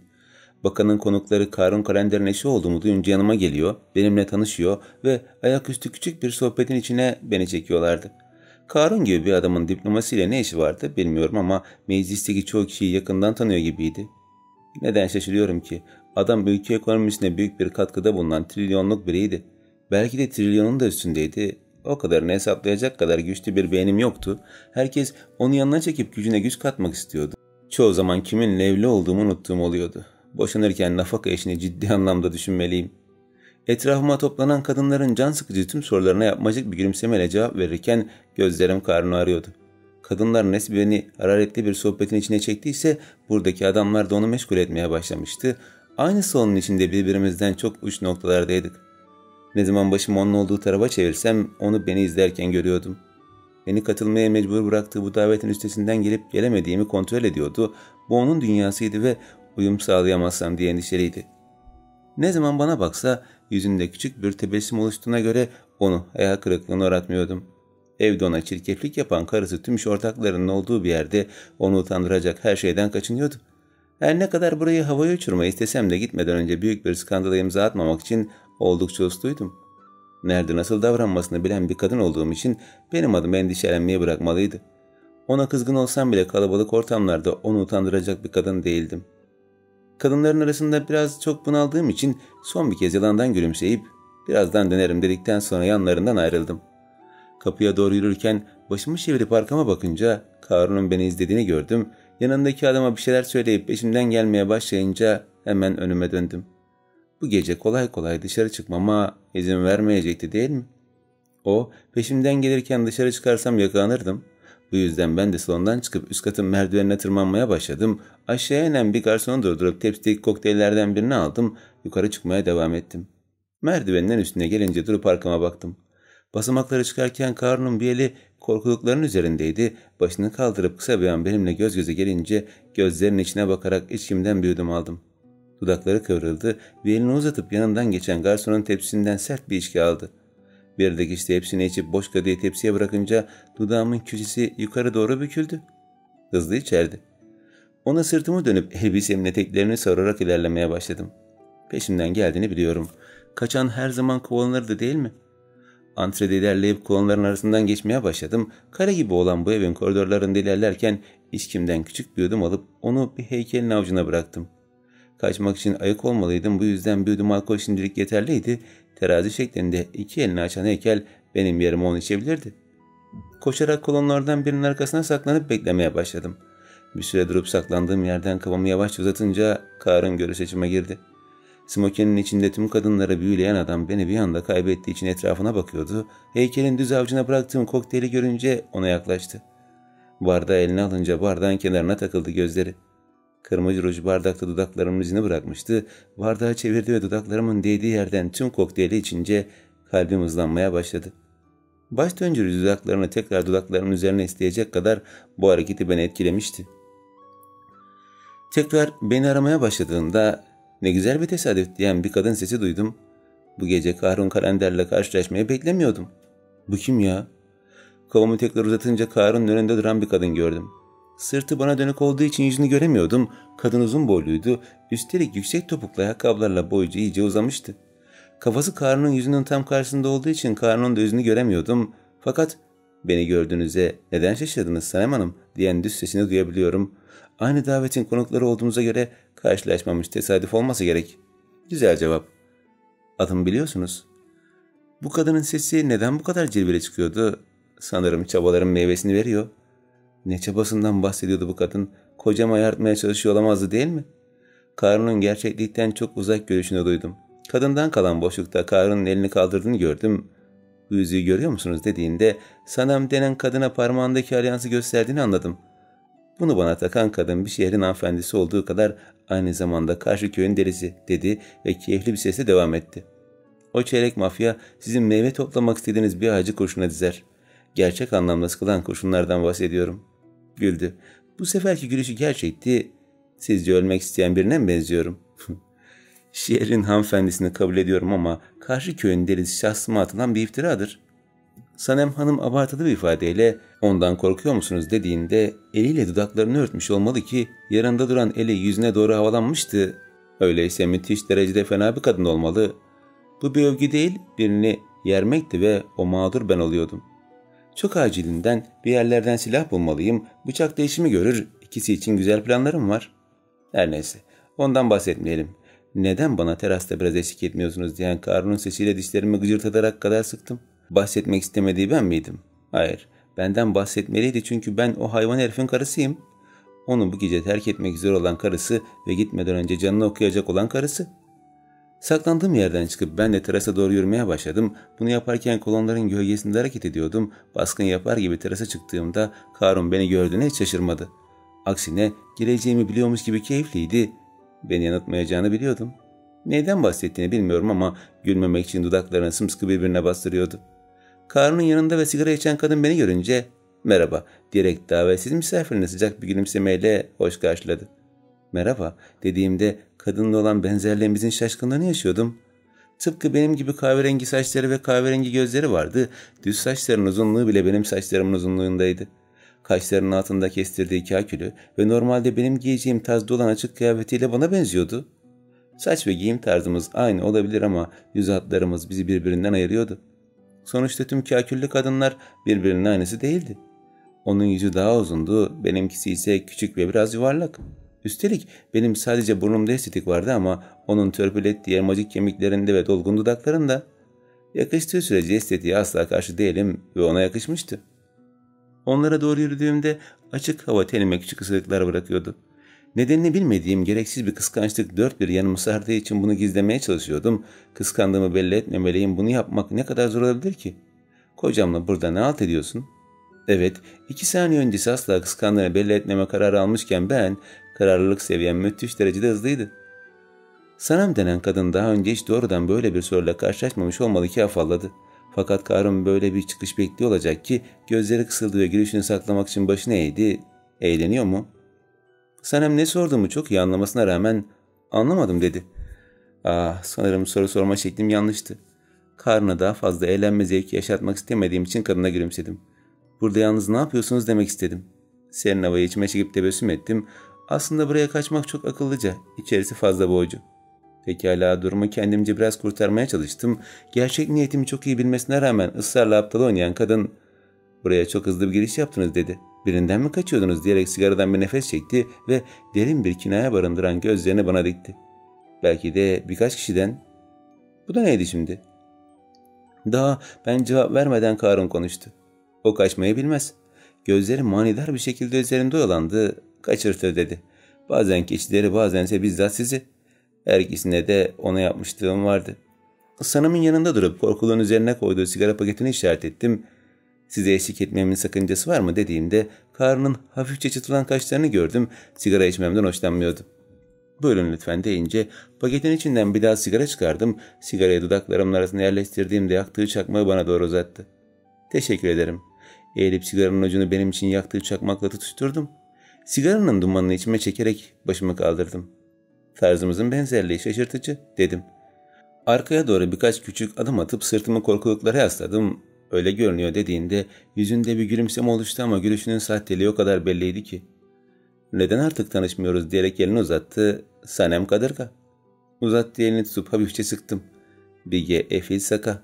Kalender diyerek beni düzeltti Karun. Başımı çevirince ters bir şekilde bana baktığını gördüm. Bige, Efi, Saka, kalender diyeceksin diyerek beni sinirli bir şekilde uyardı. Eksik söyleme. Sanem Hanım abartılı bir ifadeyle yeni evliler arasında bir gerginlik mi seziyorum dediğinde göz devirmemek için kendimi zor tuttum. Eğer evlilik terapisti değilse aramızdaki ilişkiye karışmamalıydı. Gerginlik mi? Gülerek başımı iki yana salladım. Kocam sadece bu konuda çok hassas. Sır verir gibi bir gizemli ifade takınıp kadına doğru kafamı uzattım. Soyadını yakıştırdığı tek kadın benim ve ben eksik söyleyince haliyle sinirleniyor. Başımı geriye çekip omzumun üzerinden karnına baktım. Değil mi kocam? Tatlı tatlı ona bakmama alacı bir ifadeyle karşılık verdi. Olumsuz bir yanıtın aleyhine olduğunu iyi bildiği için bu sefer gülüşünü gizleyemedi. Öyle dedi keyifli bir sesle. Sen diyorsan doğrudur. Birbirimize attığımız ima dolu bakışları görmek Sanem'in canını sıkmış olmadı ki hava serinledi sanki diyerek üşümüş gibi kollarını sıvazladı. Ah şu klişe taktik. Üşüdüm ceketini ver. Elimdeki sigarayı terastan aşağıya attım. Karnına yaklaşıp ben de üşüdüm sanki dedim. Gülümseyip ellerimi göğsüne basarak ona sokuldum. Beni ısıtır mısın? Başımı kaldırıp ona tatlı tatlı bakarken gözleri büyüdü. Şaşırdı, hatta afalladı. Tüm gün ondan kaçmışken şimdi bir anda ona yakın olmamın şaşkınlığını yaşıyordu. O kadar afallamıştı ki Senem Hanım'ın burada olduğunu unutup hemen sonrasında fırlatacak ölümcül bir şeylerim var mı deyince kırdadım. Aşk olsun yapar mıyım hiç öyle şeyler? Gözlerini kısarak hiç yapar mısın dedik kuşkulu bir ifadeyle. Neşesiz bir şekilde gülümsedim. Ellerin hala belimde değil kocam dedim. Üşüyeyim mi? Nedendir bilmiyorum ama ona nazlanmam Senem Hanım'ın hoşuna gitmemiş gibi kocam mı dediğinde yüzünü abartıyla buruşturmaya çalıştı. Yaptırdığı Fransız askısı buna izin vermediği için istediği yüz ifadesini yakalayamadı. Kocam kulağa çok kaba geliyor. Neden siz de diğer kadınların söylediği gibi kocam yerine kocacığım demiyorsunuz? Kadının bana olan sözlü saldırısında Karun belimi tutup beni göğsüne çekerek karşılık verdi. Beni ısıtmak için kollarını bana sararken o zaman diğer kadınlardan ne farkı kalır diyerek Sanem Hanım'ı büyük bir bozguna uğrattı. Yanılıyor muyum? Başım Karun'un göğsünde olduğu için Sanem Hanım'ın yüzünü bu sefer göremedim ama muhakkak öyledir Karun Bey diyen keyifsiz sesini duydum.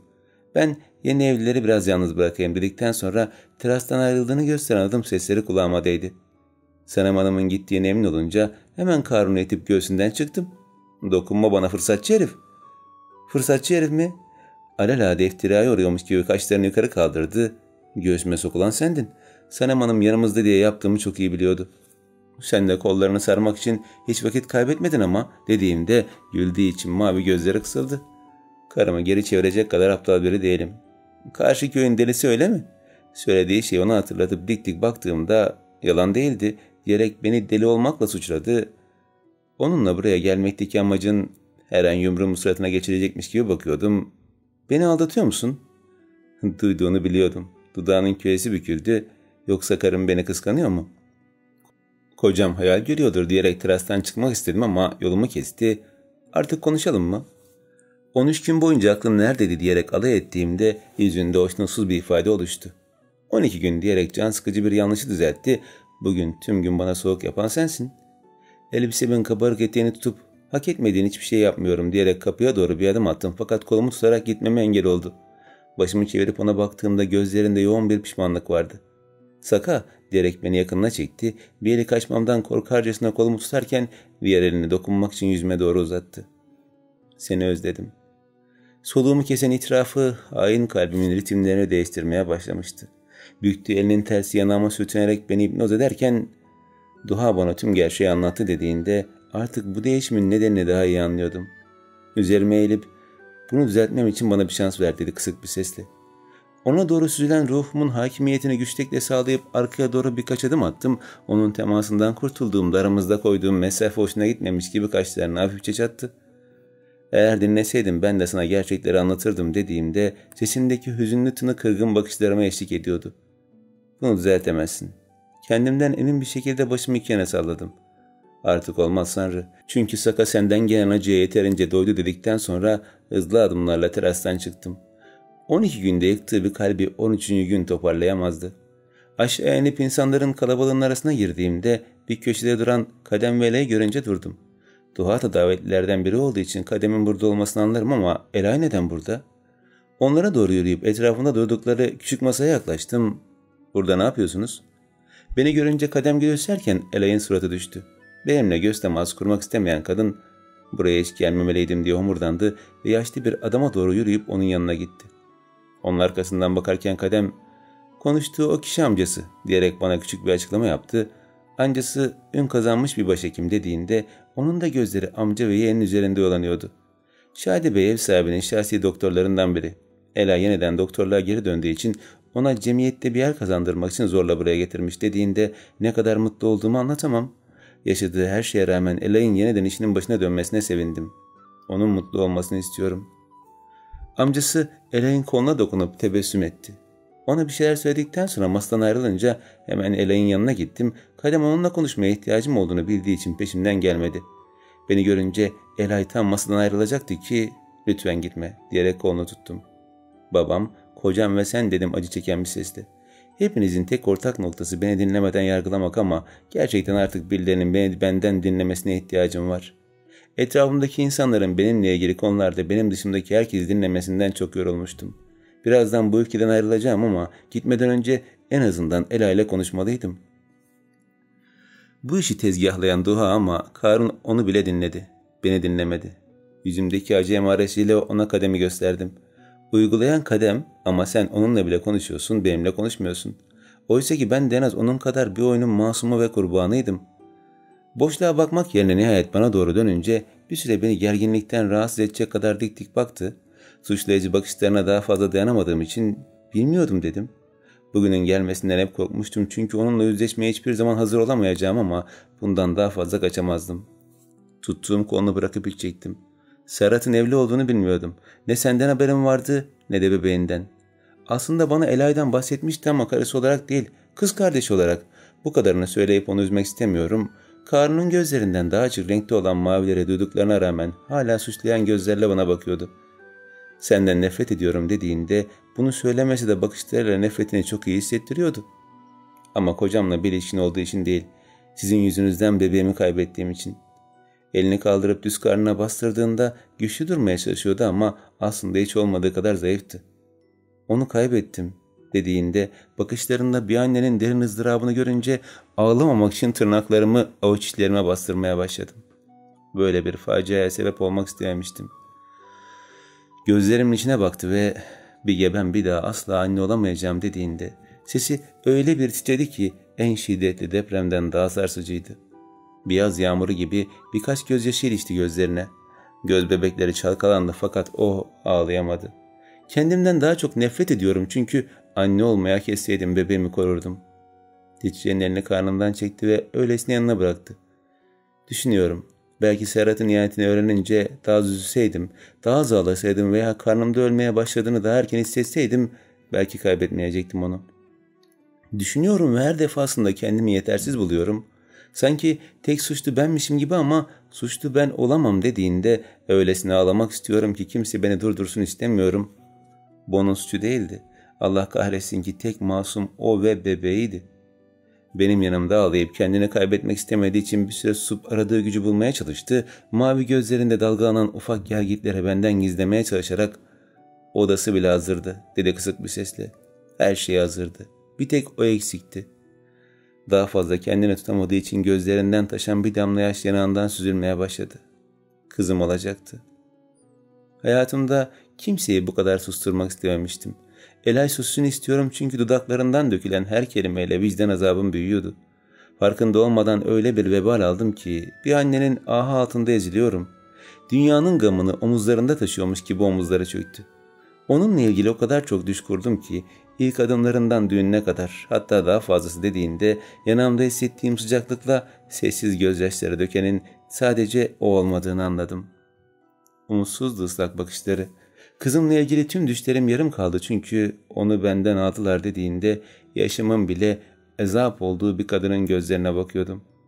Bebeğimi kaybettiğim gün ölmeni isteyecek kadar senden nefret ettim. Çünkü hikayenin tamamını bilmiyordum. Sustu ve dilini ısırdı. Belli ki büsbütün söyleyeceği bir şeyler vardı lakin daha fazlası için henüz hazır değildi.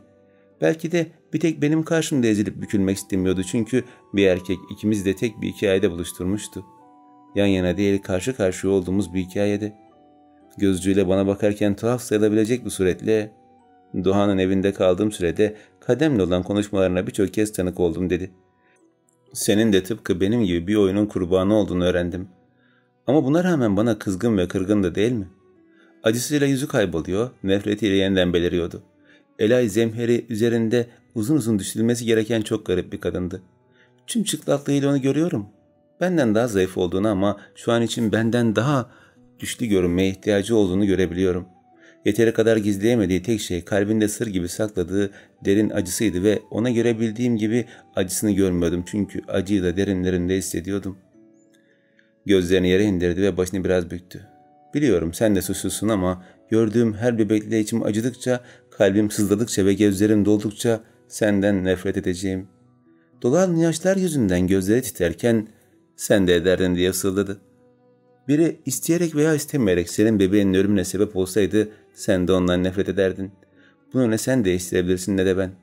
O kadar haklıydı ki, Allah kahretsin o kadar haklıydı ki, onun yerinde olsaydım bu kadar sağdulu olamayacağımı biliyordum. Hiçbir zaman eleğin olgunluğuna erişeceğimi sanmıyorum. Yanında duran elini kaldırıp gözyaşlarını parmağının ucuyla sildi. Duhadan evliliğinle ilgili kanıtları çalıp babana veren bendim diyerek itiraf etti. Amacım sana veya kocana zarar vermek değildi. Ben sadece Duhan'ın adalet karşısında yargılanmasını istiyorum ama bu düşündüğümden daha zor olacak. Bu adamlar için bir adalet yok. Onların neler yapabileceğini bildiği için bu konudaki tüm umutları kırılmıştı. Savcıya da hakime de çok kolay kendi doğrularını kabul ettirebilirlerdi. Gerek tehdit gerekse şantaj. Onlar kirli oynadıkça onlara karşı kazanmak çok zordu. Gizlemeye çalıştığı kıvranışları benim bilmediğim başka bir üzüntünün çırpınışlarıydı. Nasıl veya niçin bilmiyorum ama sakladığı bir şeyler daha vardı. Söyleyemediği şeyler üzerine küçük bir tahminden yola çıkarak sana yardım ederim dedim. Duhan'ın canını yaktığı tek kişi sen değilsin. Bu ikimizin ortak intikamı. Eğer intikam istiyorsa bu konuda elimden geleni yaparım. Gözleriyle bir masada tek başına durarak bizi izleyen kademi işaret etti. Yo, ondan da intikam alabilecek misin? Çocukluk arkadaşım olduğunu öğrenmişti. İçimi yakıp kavram ılık bir nefesi dudaklarım arasından koyverdim. Geçmişimdeki bir patlamada ondan küçük kız kardeşini aldım. Bana yaptığı şey ona yaptığım şeyin yanında hiç kalır. Ben hala onun Uğur olduğunu kabullenmiş bile değilim. Ona ne zaman baksam bir türlü Uğur'u göremediğim için döndüğüne yeteri kadar mutlu olamıyor, bunca zamandır neredeydin diye soramıyorum. Sanki Uğur hala bir ölü ve hiç geri dönmemiş gibiydi benim için. Kadem veya Uğur fark etmez. Aramızda yıllar önce kopan bağı yeniden onaramıyorduk. İkimizin arasında kolay kolay kapanmayacak bir boşluk vardı ve biz o boşluğu dolduramıyorduk.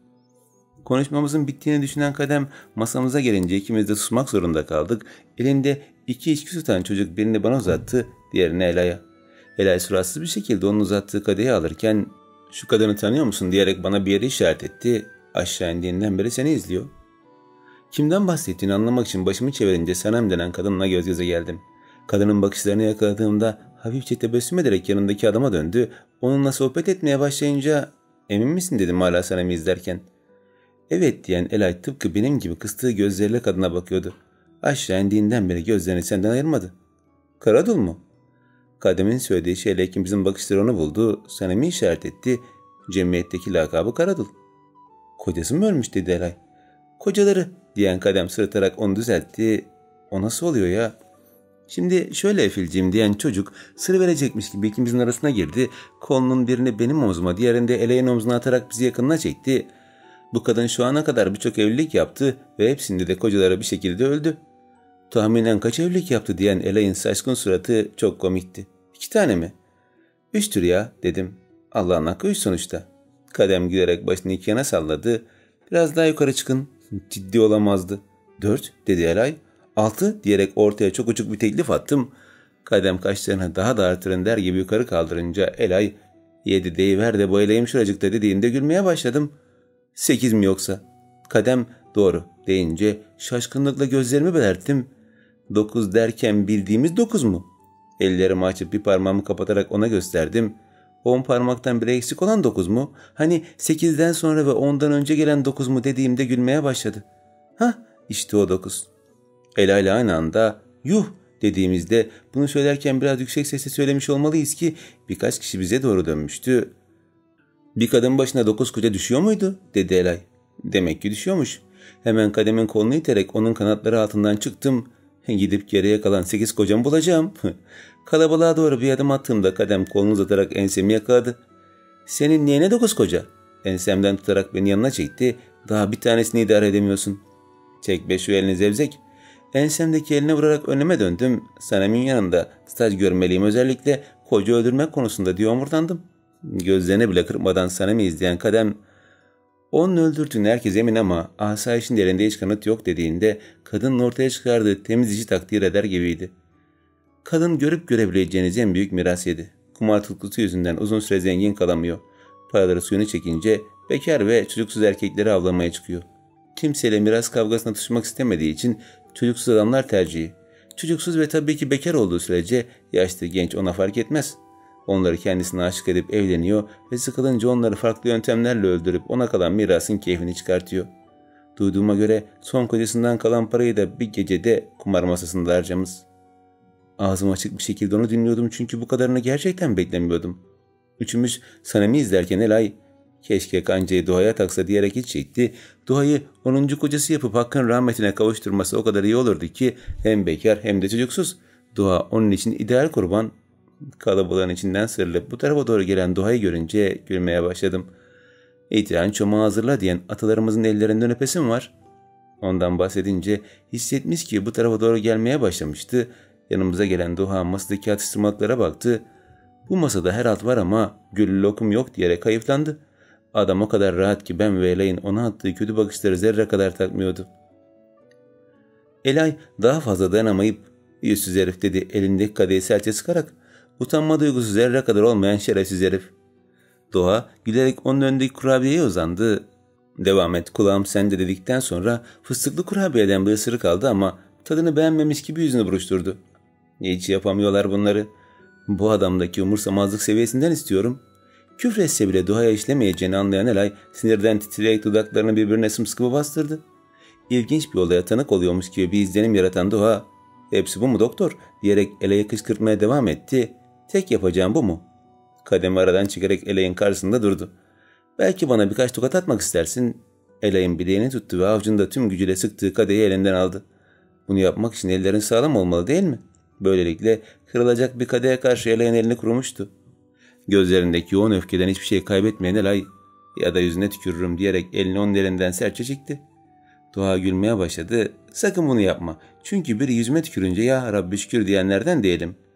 Kafasını Ela'ya doğru uzatıp gizemli bir ifadeyle bunu en son yapan kişinin dilini kesmek zorunda kalmıştım dedi ve Ela'nın dudaklarını işaret etti.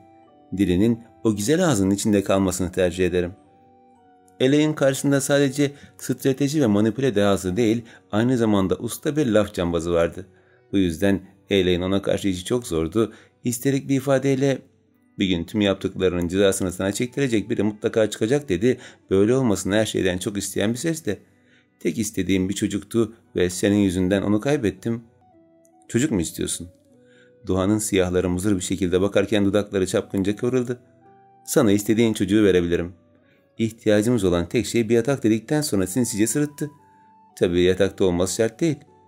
Kademle birlikte bu dengesi ağzımız bir karış izlerken sinirden nevri dönen Elay sen iflah olmaz pisliğin tekisin dedikten sonra Doğan'ın suratına öyle bir tokat attı ki tüm salonda yankılandı sesi. Doğan'ın başı omzuna doğru düşerken insanlar konuşmaya bırakıp bize bakmaya başladı. Karun da yanındaki adamlarla sohbet etmeye bırakıp bu tarafa bakınca Doğa'yı gördü, kaşlarını çattı. Onu benim yakınımda görmekten hoşlanmadığı için bu yana doğru gelmeye başladı. Akabinde herkesin içinde sert bir tokat yiyen Doğa kızmak yerine Ele'ye doğru başını çevirdi. Yüzünde büyük bir alay olan baş belası adam bunu herkesin içinde yapmak zorunda mıydın dedi. Eleyen tokadının izini yanağında taşırken kanayan gözlerini ona dikti. Kişisel sorunlarımızı herkese yansıtman kabul edilir gibi değil. Sinirden kendini tutamayıp plan kadem abi sen niye bu kadar nokta noktasın deyince Doğa övgü almış gibi böbürlenen bir ifadeyle teşekkür ederim koçum dedi ve kadem bu sefer kahkaha attı. Elay onu görmeye daha fazla dayanamadığı için omzuyla Duhan'ın omzuna çarparak gitmeye çalıştı ancak Duha bekle diyerek onun kolunu tuttu ve gitmesine engel oldu. Gerçekten beni yenmek istiyor musun dediğinde yine neyin peşinde olduğunu anlayamadım. Dudaklarını hafif araladı ve beyaz dişlerini bize gösterecek şekilde gülümsedi. Sana bunun için bir fırsat sunabilirim. Elay önce yine Doğa tarafından hain bir oyunun kurbanı olduğunu düşündü ama Doğan'ın bir bakışı bir sözü onu bu teklifin gerçekliğini etti. Doğa şimdi son derece ciddi bir ifadesiyle ona bakıyordu. Neden bir oyun oynamıyoruz? Eğer bu oyunun sonunda kazanırsan sana yaptıklarım da dahil bugüne kadar çevirdiğim tüm pis işlerin belgelerini sana vereceğim. Ucunda sahip olduğu tüm itibarı ve her şeyi kaybedeceği bir oyuna atılmak mı istiyordu? Çoğunlukla alaycı üstü bunun taşkınlığıyla herkesi sinir eden bir adama kuşkulu gözlerle bakan Elay, nasıl bir oyun diyerek Dua'nın teklifini daha şimdiden cezbedici bulduğunu belli etti. Karun da yanımıza gelince Dua Elay'ın kolunu bırakıp can sıkıntımaya gelecek bir oyun dedikten sonra başını çevirip karnına baktı. Tam zamanında kalender çünkü birinin bana kefil olması gerekebilir. Karun elindeki içki kadehini alıp birkaç yudum içtikten sonra kadehi geri onun eline tutuşturdu. Kefilim olursun değil mi? Karun onun dudaklarının değdiği kadehe midesi bulanmış gibi bakıp mundar ettiğin şeyi al kendin iç diyerek kadehi duaya verdi. Şeytanla anlaşma olmaz. Şimdi uyaran gözlerle Ela'ya bakıyordu. Sana tavsiyem teklif ettiği hiçbir şeyi kabul etmemen. Onun yararına bir teklif dedi Duha. Karun benim elimde duran kadehe uzanıp onu aldı. İçkimden bir yudum aldıktan sonra bıkkın gözlerini Duha'ya dikti. Genelde insanları böyle kandırmıyor musun? Kendi çıkarların onların çıkarlarıymış gibi empoze ediyor ve onları manipüle ederek kandırıyorsun. Nokta atışı olan bir tespitti. Karnın onun hakkındaki düşünceleri hoşuna gitmiş gibi güldü. Bunu bir iltifat olarak kabul edeceğim ama bu seferki oyunda kazancım sadece eğlenmek. Kaybımsa sahip olduğum mevki ve konum. Gözleriyle Karun elinde tuttuğu kadehi işaret edip yüzüne abartılı bir kınama ifadesi kondurdu. Bir kuşun içtiği kadehten içiyorsun ama benimkinden içmiyorsun. Kalbimi kırıyorsun kalender. Karun sevimsiz sevimsiz konuşmaya ne dedi ters bir sesle ama tek yaptığı duayı daha çok güldürmekti. Çünkü ikisinin en büyük eğlencesi birbirini kızdırmaktı. Ela göz ucuyla duaya bakıp şu teklifinden bahset diyerek bu konudaki merakını daha fazla dizginleyemedi. Duha cevap vermeden bir süre kafasındaki planı rayına oturtmaya çalıştı. Bunu yaparken sağ gözü diğerine göre biraz kısılıyor ve tek kaş hafifçe yukarı kalkıyordu. Gücün, paran hatta benimle mücadele edecek sağlam bir karakterin bile yok diyerek kıstığı gözleriyle Ela'yı incelerken onu açık ve beyan analiz ediyordu. Fazla naif, duygusal ve sinir bozucu bir derecede melankolik bir kadınsın. Kısacası benimle boy ölçüşecek hiçbir vasfın yok dediğinde gereksiz dürüstlüğü karşısında kaşlarımı çattım. Bir kadına nasıl hissettirdiğini zerre kadar umursamıyordu. Ela'nın bakışlarına sert bir ifade konduğunda konuşmak için tam dudaklarını aralamıştı ki ama diyen Doğa onu susturdu. Ama her kadının sahip olduğu fakat çoğu kadının kullanmasını bilmediği güçlü bir silahım var. Yüzüne gelen saçlarını parmaklarıyla düzeltip neden güçlü yanın üzerine bahse tutuşmuyoruz dediğinde rakibine karşı adaletli olmaya çalışıyormuş gibi imserdi. Anlamadım diyen Elay bu konuda yalnız değildi ama anlaşılan ikimiz dışındaki herkes onun ne demek istediğini anlamıştı. Çünkü Karun'un da dudakları kıvrılmıştı. Duha'nın gizemli teklifi daha şimdiden onu eğlendirmeye başlamış gibiydi. Duha biraz daha açık olarak ellerini masaya bastırdı ve Ela'ya doğru eğildi. Altı ay içinde benden bir öpücük almayı başarırsan beni bitirecek tüm delillere sana kendi ellerimle vereceğim. Ela'nın gözleri yuvalarından fırlayacakmış gibi büyüyünce Doğa sinsice sırıttı. Bu tamamen iradeleri zorlayacak bir bahis olacak. Sen değil, benim seni öpmemle kazanacaksın. Tüm oyunlarını sergile, kışkırt ve yoldan çıkar beni. Bunun için sana sponsor olacağım. Ellerini masadan çekip arka cebine attı, cüzdanını çıkardı ve cüzdanın içindeki kartlardan birini çıkartıp masaya koydu. 6 ay boyunca istediğin her şeye kolayca ulaşman için artık limitsiz bir kartım var. Beni etkileyeceğini düşündüğün her şeyi al, giy ve kuşat kendini. Beni yenmen için sana gereken tüm desteği sunuyorum dediğinde gerçekten ne yapmak istediğini anlayamıyorum. Doğa Tunus 27 yıllık hayatımda karşılaştığım en zor ve çözülmesi imkansız bir bulmacaydı. Kolay görünen ama fazlasıyla karmaşık olan bir bulmaca. Elay şaşkınlığını gizlemeye çalışarak omuzlarını dikleştirdi. Bu onun güçlü görünmek için yaptığı bir hareketti. Sanırım şimdi eğlence anlayışını anladım diyerek başını öylesine salladı. Bana seni yenmem için gereken her şeyi sunuyorsun çünkü verdiklerine rağmen kaybedeceğime çok eminsin. Oyunun sonunda sana asıl azlı yaşatan bu olacak. Sunduklarına rağmen kaybeden bir rakip. Bu sana kendini yenilmez hissettirecek. Sadist zevklerini kamçılayacak. Elay'ın bu çıkışıyla haklı olduğunu anladım. Doğa her anlamda onu küçümsüyor. Kazanmasına ihtimal vermiyordu. Bu yüzden bu bahse her şeyini ortaya koymuştu çünkü Elay'ın kaybedeceğine o kadar emindi ki. Elay kazanmak istiyordu. Gururuna tutunup bu teklifi elinin tersiyle etmek istemiyordu çünkü eline her zaman böylesine büyük bir şans geçmezdi. Yine de Duhan'ın da bildiği gibi kendine güveni zayıf bir kadın olduğu için ne yapacağını bilmez bir halde masadakilere baktı. istediği güveni ne Karun'un boş bakışlarında buldu ne de kademenin dişeli gözlerinde. Benim olduğum tarafa bakınca omuzumun üzerinden ona destekleyici bir bakış attım. Kahvelerim onun mavileriyle buluşunca sıcak bir şekilde tebessüm edip göz kırptım. Doğadan intikam almak istediğinde ona yardım edeceğimi söylemiştim ve şimdi sözümün doğruluğunu kanıtlamamın zamanıydı. Bu sadece onun değil, bir nevi benim için de yerine getirilen bir adalet olacağı için kabul et der gibi ona bakıyordum. Elay bakışlarımdan ne demek istediğimi çok iyi anladığı için rahatlayarak nefesini koyverdi, anlaştık diyerek önüne döndü. Peki kazandığımda sözünü tutacağını nereden bileceğim? Bizde söz senettir ama illa bir güvence istiyorsan dedikten sonra gözleriyle karnını işaret etti. Kalender benim kefilim. Hiç sanmıyorum ama eğer gerçekten seni öpmemi sağlayacak kadar beni etkilersen gereken delilleri sana vereceğim. Vermemek gibi bir durum şaşınırsa Karun sana beni bitirecek delilleri verecek. Kefilim olduğu için bunu yapacak. İkimiz de birbirimizin ipini çekecek çok şey biliyoruz sonuçta. Ve bildiklerine rağmen bunu yapmıyorlardı. Bu ikisi birbirine yapmadıklarını bırakmıyorlardı ama ilginç bir şekilde de birbirlerinin arkasını kolluyorlardı. Karun her zamanki soğuk tutumunu koruyup Kefilin olmayı kabul etmedimeniz diyerek o da masadaki tabaktan bir tane kurabiye aldı. Daha önce Doğan'ın yaptığı gibi ilk ısırıkta yüzünü buruşturup fındıklı bir şeyler yok mu deyince biz tuhaf tuhaf ona bakarken Doğa kahkaha attı. Fıstıklı kurabiyeye karşı ikisi de benzer tepkiler vermişti. Biri güllü lokum isterken diğeri bir ordulu olduğunu hızlı belli etmiş ve fındık istemişti. Doğa arkadaki masalardan birini işaret etti. Orada fındıklı atıştırmalıklar vardı. Kademe baktı. Git biraz getir kocum. Üst katta güllü tatlılar var diyen Karun da kademe baktı. Şu nokta noktaya onlardan da getir. Sussun deyince kadem gülerek masadan ayrıldı. Eray bana yaklaşıp Karun ve Duha'ya tuhaf tuhaf bakarken onlar duymasın diye bu ikisi dost mu yoksa düşman mı sen anladın mı dedi kısık bir sesle. Anlamaya beynim yetmez diye omurdandım. Bence onlar da anlamıyor. Dua tekrar konuya dönüp gözlerini Karun'a dikti. Neden kefilim olmuyorsun? Karun rahatça omuz dikti. Kendi pis işler için beni şahit tutmaya bırak. Bir süre nokta nokta ol git hayatımdan. Evlendiğinden beri sana bir haller oldu kalender. Sence de beni çok ihmal etmiyor musun? Hangi yönden? Artık eskisi gibi yaratıcı saldırılarda bulunmuyorsun bile. Gerçekten artık böyle mi olacak diyen Duha sahte bir şaşkınlığı kucakladı. Gümrükteki tırlarını yakalatmanın tek karşılığı gemilerimden birini batırmak mı? O hamlem en az beş gemi ederdi. Ne?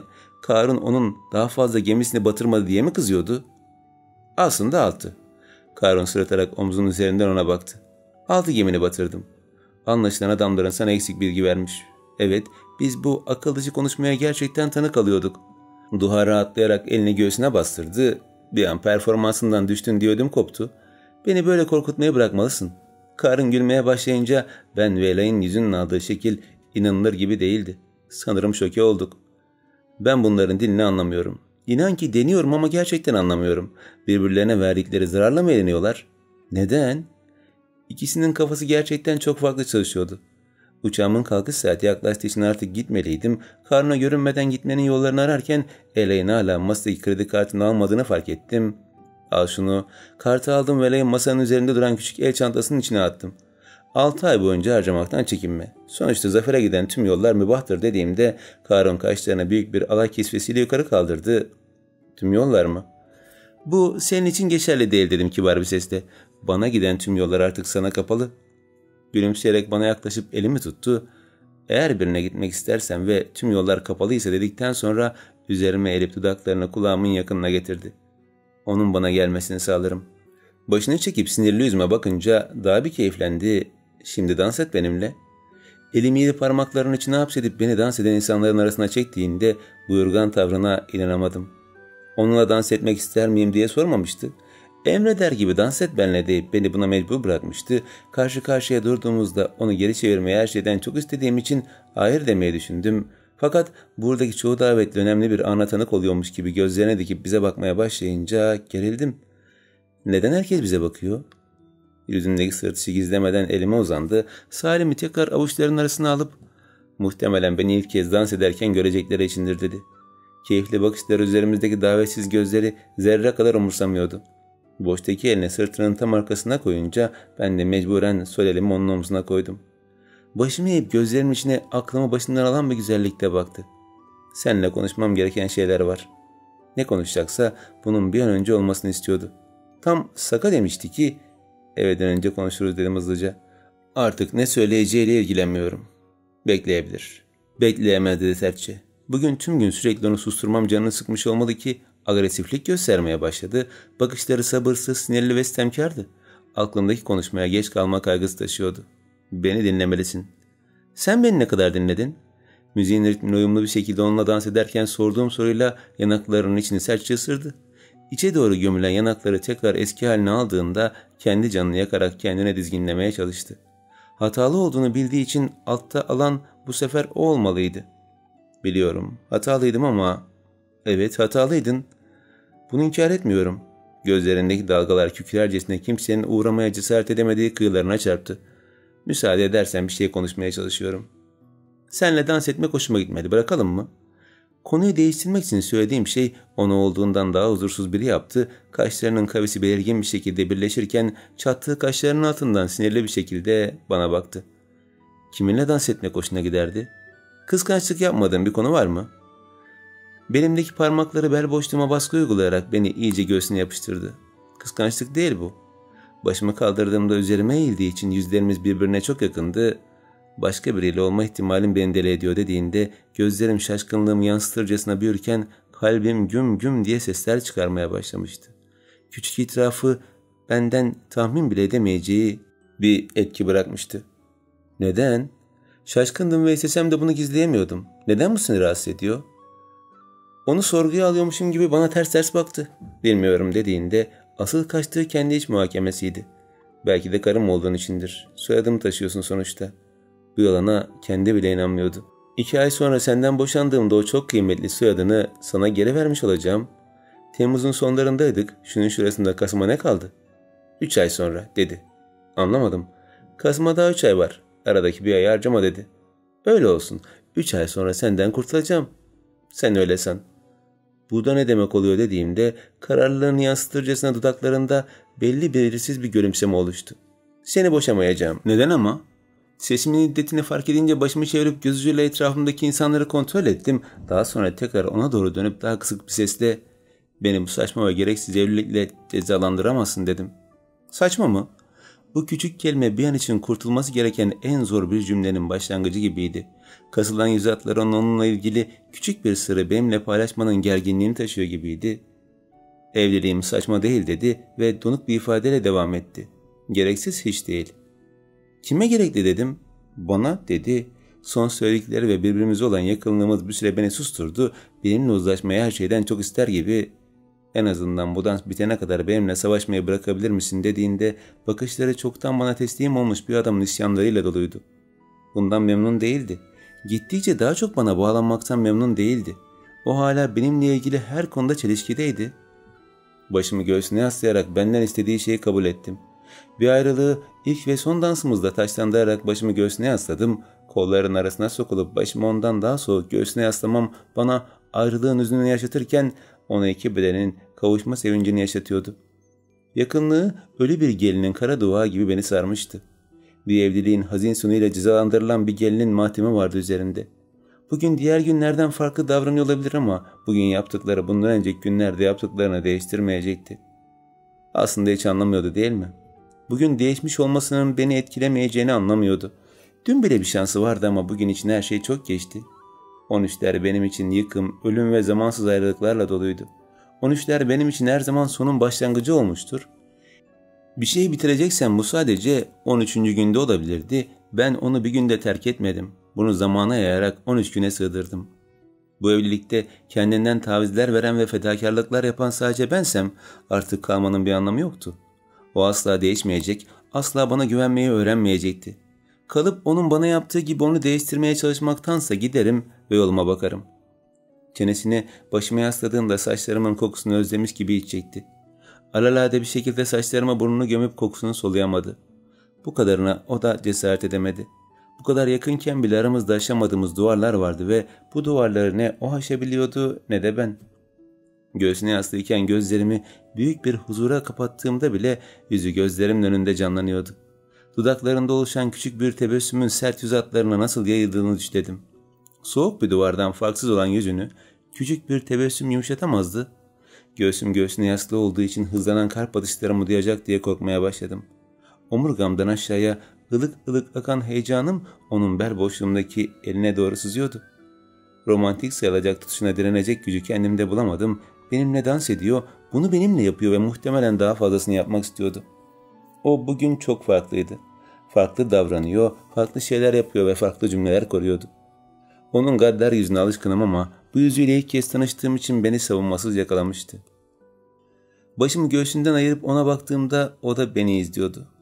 Onun duygulu bakışlarından kaçmak için alacıl bir yol seçtim. Bunun devamında sıkı bir aşk itirafı gelecek değil mi? Kırladım. Sırada ne var? Beni ne kadar çok sevdiğim mi? Yüksek sesle gülmeye başladığında beni buradaki çoğu kadının kıskanç bakışlarına maruz bırakmıştı. Bunu çok isterdin değil mi? Dedik gülüşlerin arasından.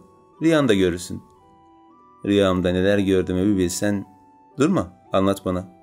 Karışına yanlış yapan bir kocanın hazin sonuyla ilgili şeyler. Gözlerimi kısarak ona baktım. Hala bilmek istiyor musun? Bir ara şirkete gel de bilinçaltına en acilinden bir format atalım dediğinde gülmeye başladım. İyi fikir. Elimi bırakmadan beni göğsünden arkaya doğru itti. Kendi etrafımdan dönerek kendimi tekrar ona doğru çekilirken buldum. Belim yağ gibi bükerek beni yere doğru eğdiğinde üzerime eğilmişti. Bakışlarında kanımı kaynatan, yanaklarımı ısıtan bir şeyler vardı. Sebepsiz yere utanıp gözlerimi kaçırdığımda kısık gülüşünü duydum. Beni utandırmak hoşuna gitmişti. Beni doğrultunca onun göğsüne çarptım. Yakınlığımızın beni etkisi altına almasına direnerek ''Terastaki şu kadın var ya'' dedim kısık bir sesle. ''Şu zamana kadar dokuz tane kocası olmuş ve hepsi ölmüş.'' Gülmemeye çalışarak ''Seninle dans ederken insanların dedikodasını yapacağımı düşünmüyorsun değil mi?'' dediğinde ne kadar çok eğlendiğini gizleyemiyordu. ''Sence dokuzunu da o mu öldürdü?'' Saka ben dedikodudan az etmem. Polisler nasıl hiç kanıt bulamaz ki? Eğer o öldürdüyse sence de çok temiz çalışmamış mı? Yavrum sen beni hiç dinlemiyor musun? Kesin onları öldürdü. Dokuzu da eceliyle ölmüş olamaz ya dediğimde gülmeye başladı. İnanımlar gibi değilsin. Müzik durduğunda gülüşü dudaklarında koruyup soldu. Çünkü bu yakınlıkta benimle daha çok zaman geçirmek istiyordu. Onun kollarından çıkıp masaya doğru yürüdüğümde kalan keyfi de kaçmış gibi suratsızdı. Lavaboya gitmeliyim diyerek onu yalan söyledim. Birazdan dönerim. Dans ederken ona karşı fazla sert olmadığım için aramızdaki küskünlüğün gittikçe son bulmaya başladığını düşünmüştü. Bu yüzden çabuk dön derken az da olsa sıkıntılarından kurtulmuş gibiydi. Başımı sallayıp kalabalığın arasına karışarak yürümeye başladım. Salonun kapısının önüne geldiğimde neden yaptım bilmiyorum ama durup arkama baktım. Bıraktığım yerde duruyor ve beni izliyordu. Tüm bu kalabalığın içinde belki de bir tek beni görüyor, gözleriyle beni takip ediyordu. Salonun iki farklı ucunda dururken göz göze geldiğimizde aramızda birçok kişi vardı ama sanki sadece ikimiz vardık.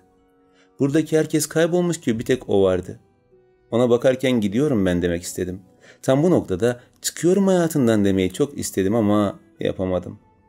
Beni bırakmama ihtimali çok güçlü olduğu için son kez baktım gözlerine ve buruk bir tebessümle ona sırtımı döndüm.'' Hoşça kal Sanrı. Düşündüğü gibi salondan çıkıp lavaboyu aramak yerine hemen dışarı çıktım. Karun'la birlikte gelmişken tek başına dışarı çıkmam gazetecilerin dikkatini çektiği için hemen etrafıma doluştular. Hepsi beni kameraya çekiyor. Neden tek başına davetin olduğu yeri terk ettiğimi soruyorlardı. Etten bedenlerini iterek kalabalığın içinden sıyrılıp Karun'un arabasına doğru yürüdüm. Karun'un arabasının hemen yanında Duhan'ın arabası vardı ve iki arabanın arasında tanıdık üç kişi duruyordu. Kadem ve Elay. Kenan'la konuşuyordu. Yaklaştıkça seslerini duyuyordum. Kenan perişan bir halde onunla konuşmalıyım dediğinde bahsettiği kişinin Karun olduğunu anladım. Buraya onunla konuşmak için gelmişti. Kadem burada olmaz diyerek onu gitmeye ikna etmeye çalışıyordu. İçeride çok fazla insan var. Seni görünce ne yapacağını kestiremeyiz. Haklıydı. Ben Karun'la dans ederken Elay o boşlukta biraz fazla içmiş olmalı ki hafif sarhoş bir sesle son zamanlarda hep ölmeyi istiyorum diyerek dudaklarını sarkıttı. Ama siz de ölün istiyorum. Niye herkes ölmüyor ki dediğinde gülmeye başladım. Kafası hafiften güzel olduğu için Kenan ve Kadem'in konuşmalarını duymuyordu bile. Kadem koluna yapışıp ondan destek alarak ayakta duran kadını itmeye çalıştı. Git ötede öl kendine diyerek Elay'ın sırnaşık dokunuşlarından kurtulmaya çalıştı. Ben daha yaşamak istiyorum. Beni görmemelerini umut ederek Karun'un arabasının yanında duran Furkan'a yaklaştım. Bir sorun mu var Bilge Hanım dedi.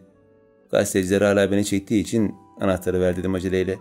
Arkamdan bir yere baktı ama karnını bulamayınca tam itiraz edecekti ki Lütfen diye fısıldadım. Furkan ver şu anahtarı. Telaşlı halimi ama en önemlisi dolan gözlerimi görünce cebinden çıkardığı anahtarı bana uzattı. İyi olacak mısınız dedi üzgün bir sesle. Furkan kaçacağımı anlamıştı. Anahtarı ondan alırken başımı salladım. Öyle umuyorum. Ona gülümseyip arabaya bindiğim esnada bizde bekle diye bağıran kademle kısık bir sesle küfrettim. Bu sarhoşun eve gitmesi gerekiyor. Ele'yi başka bir arabayla götürebilirdi.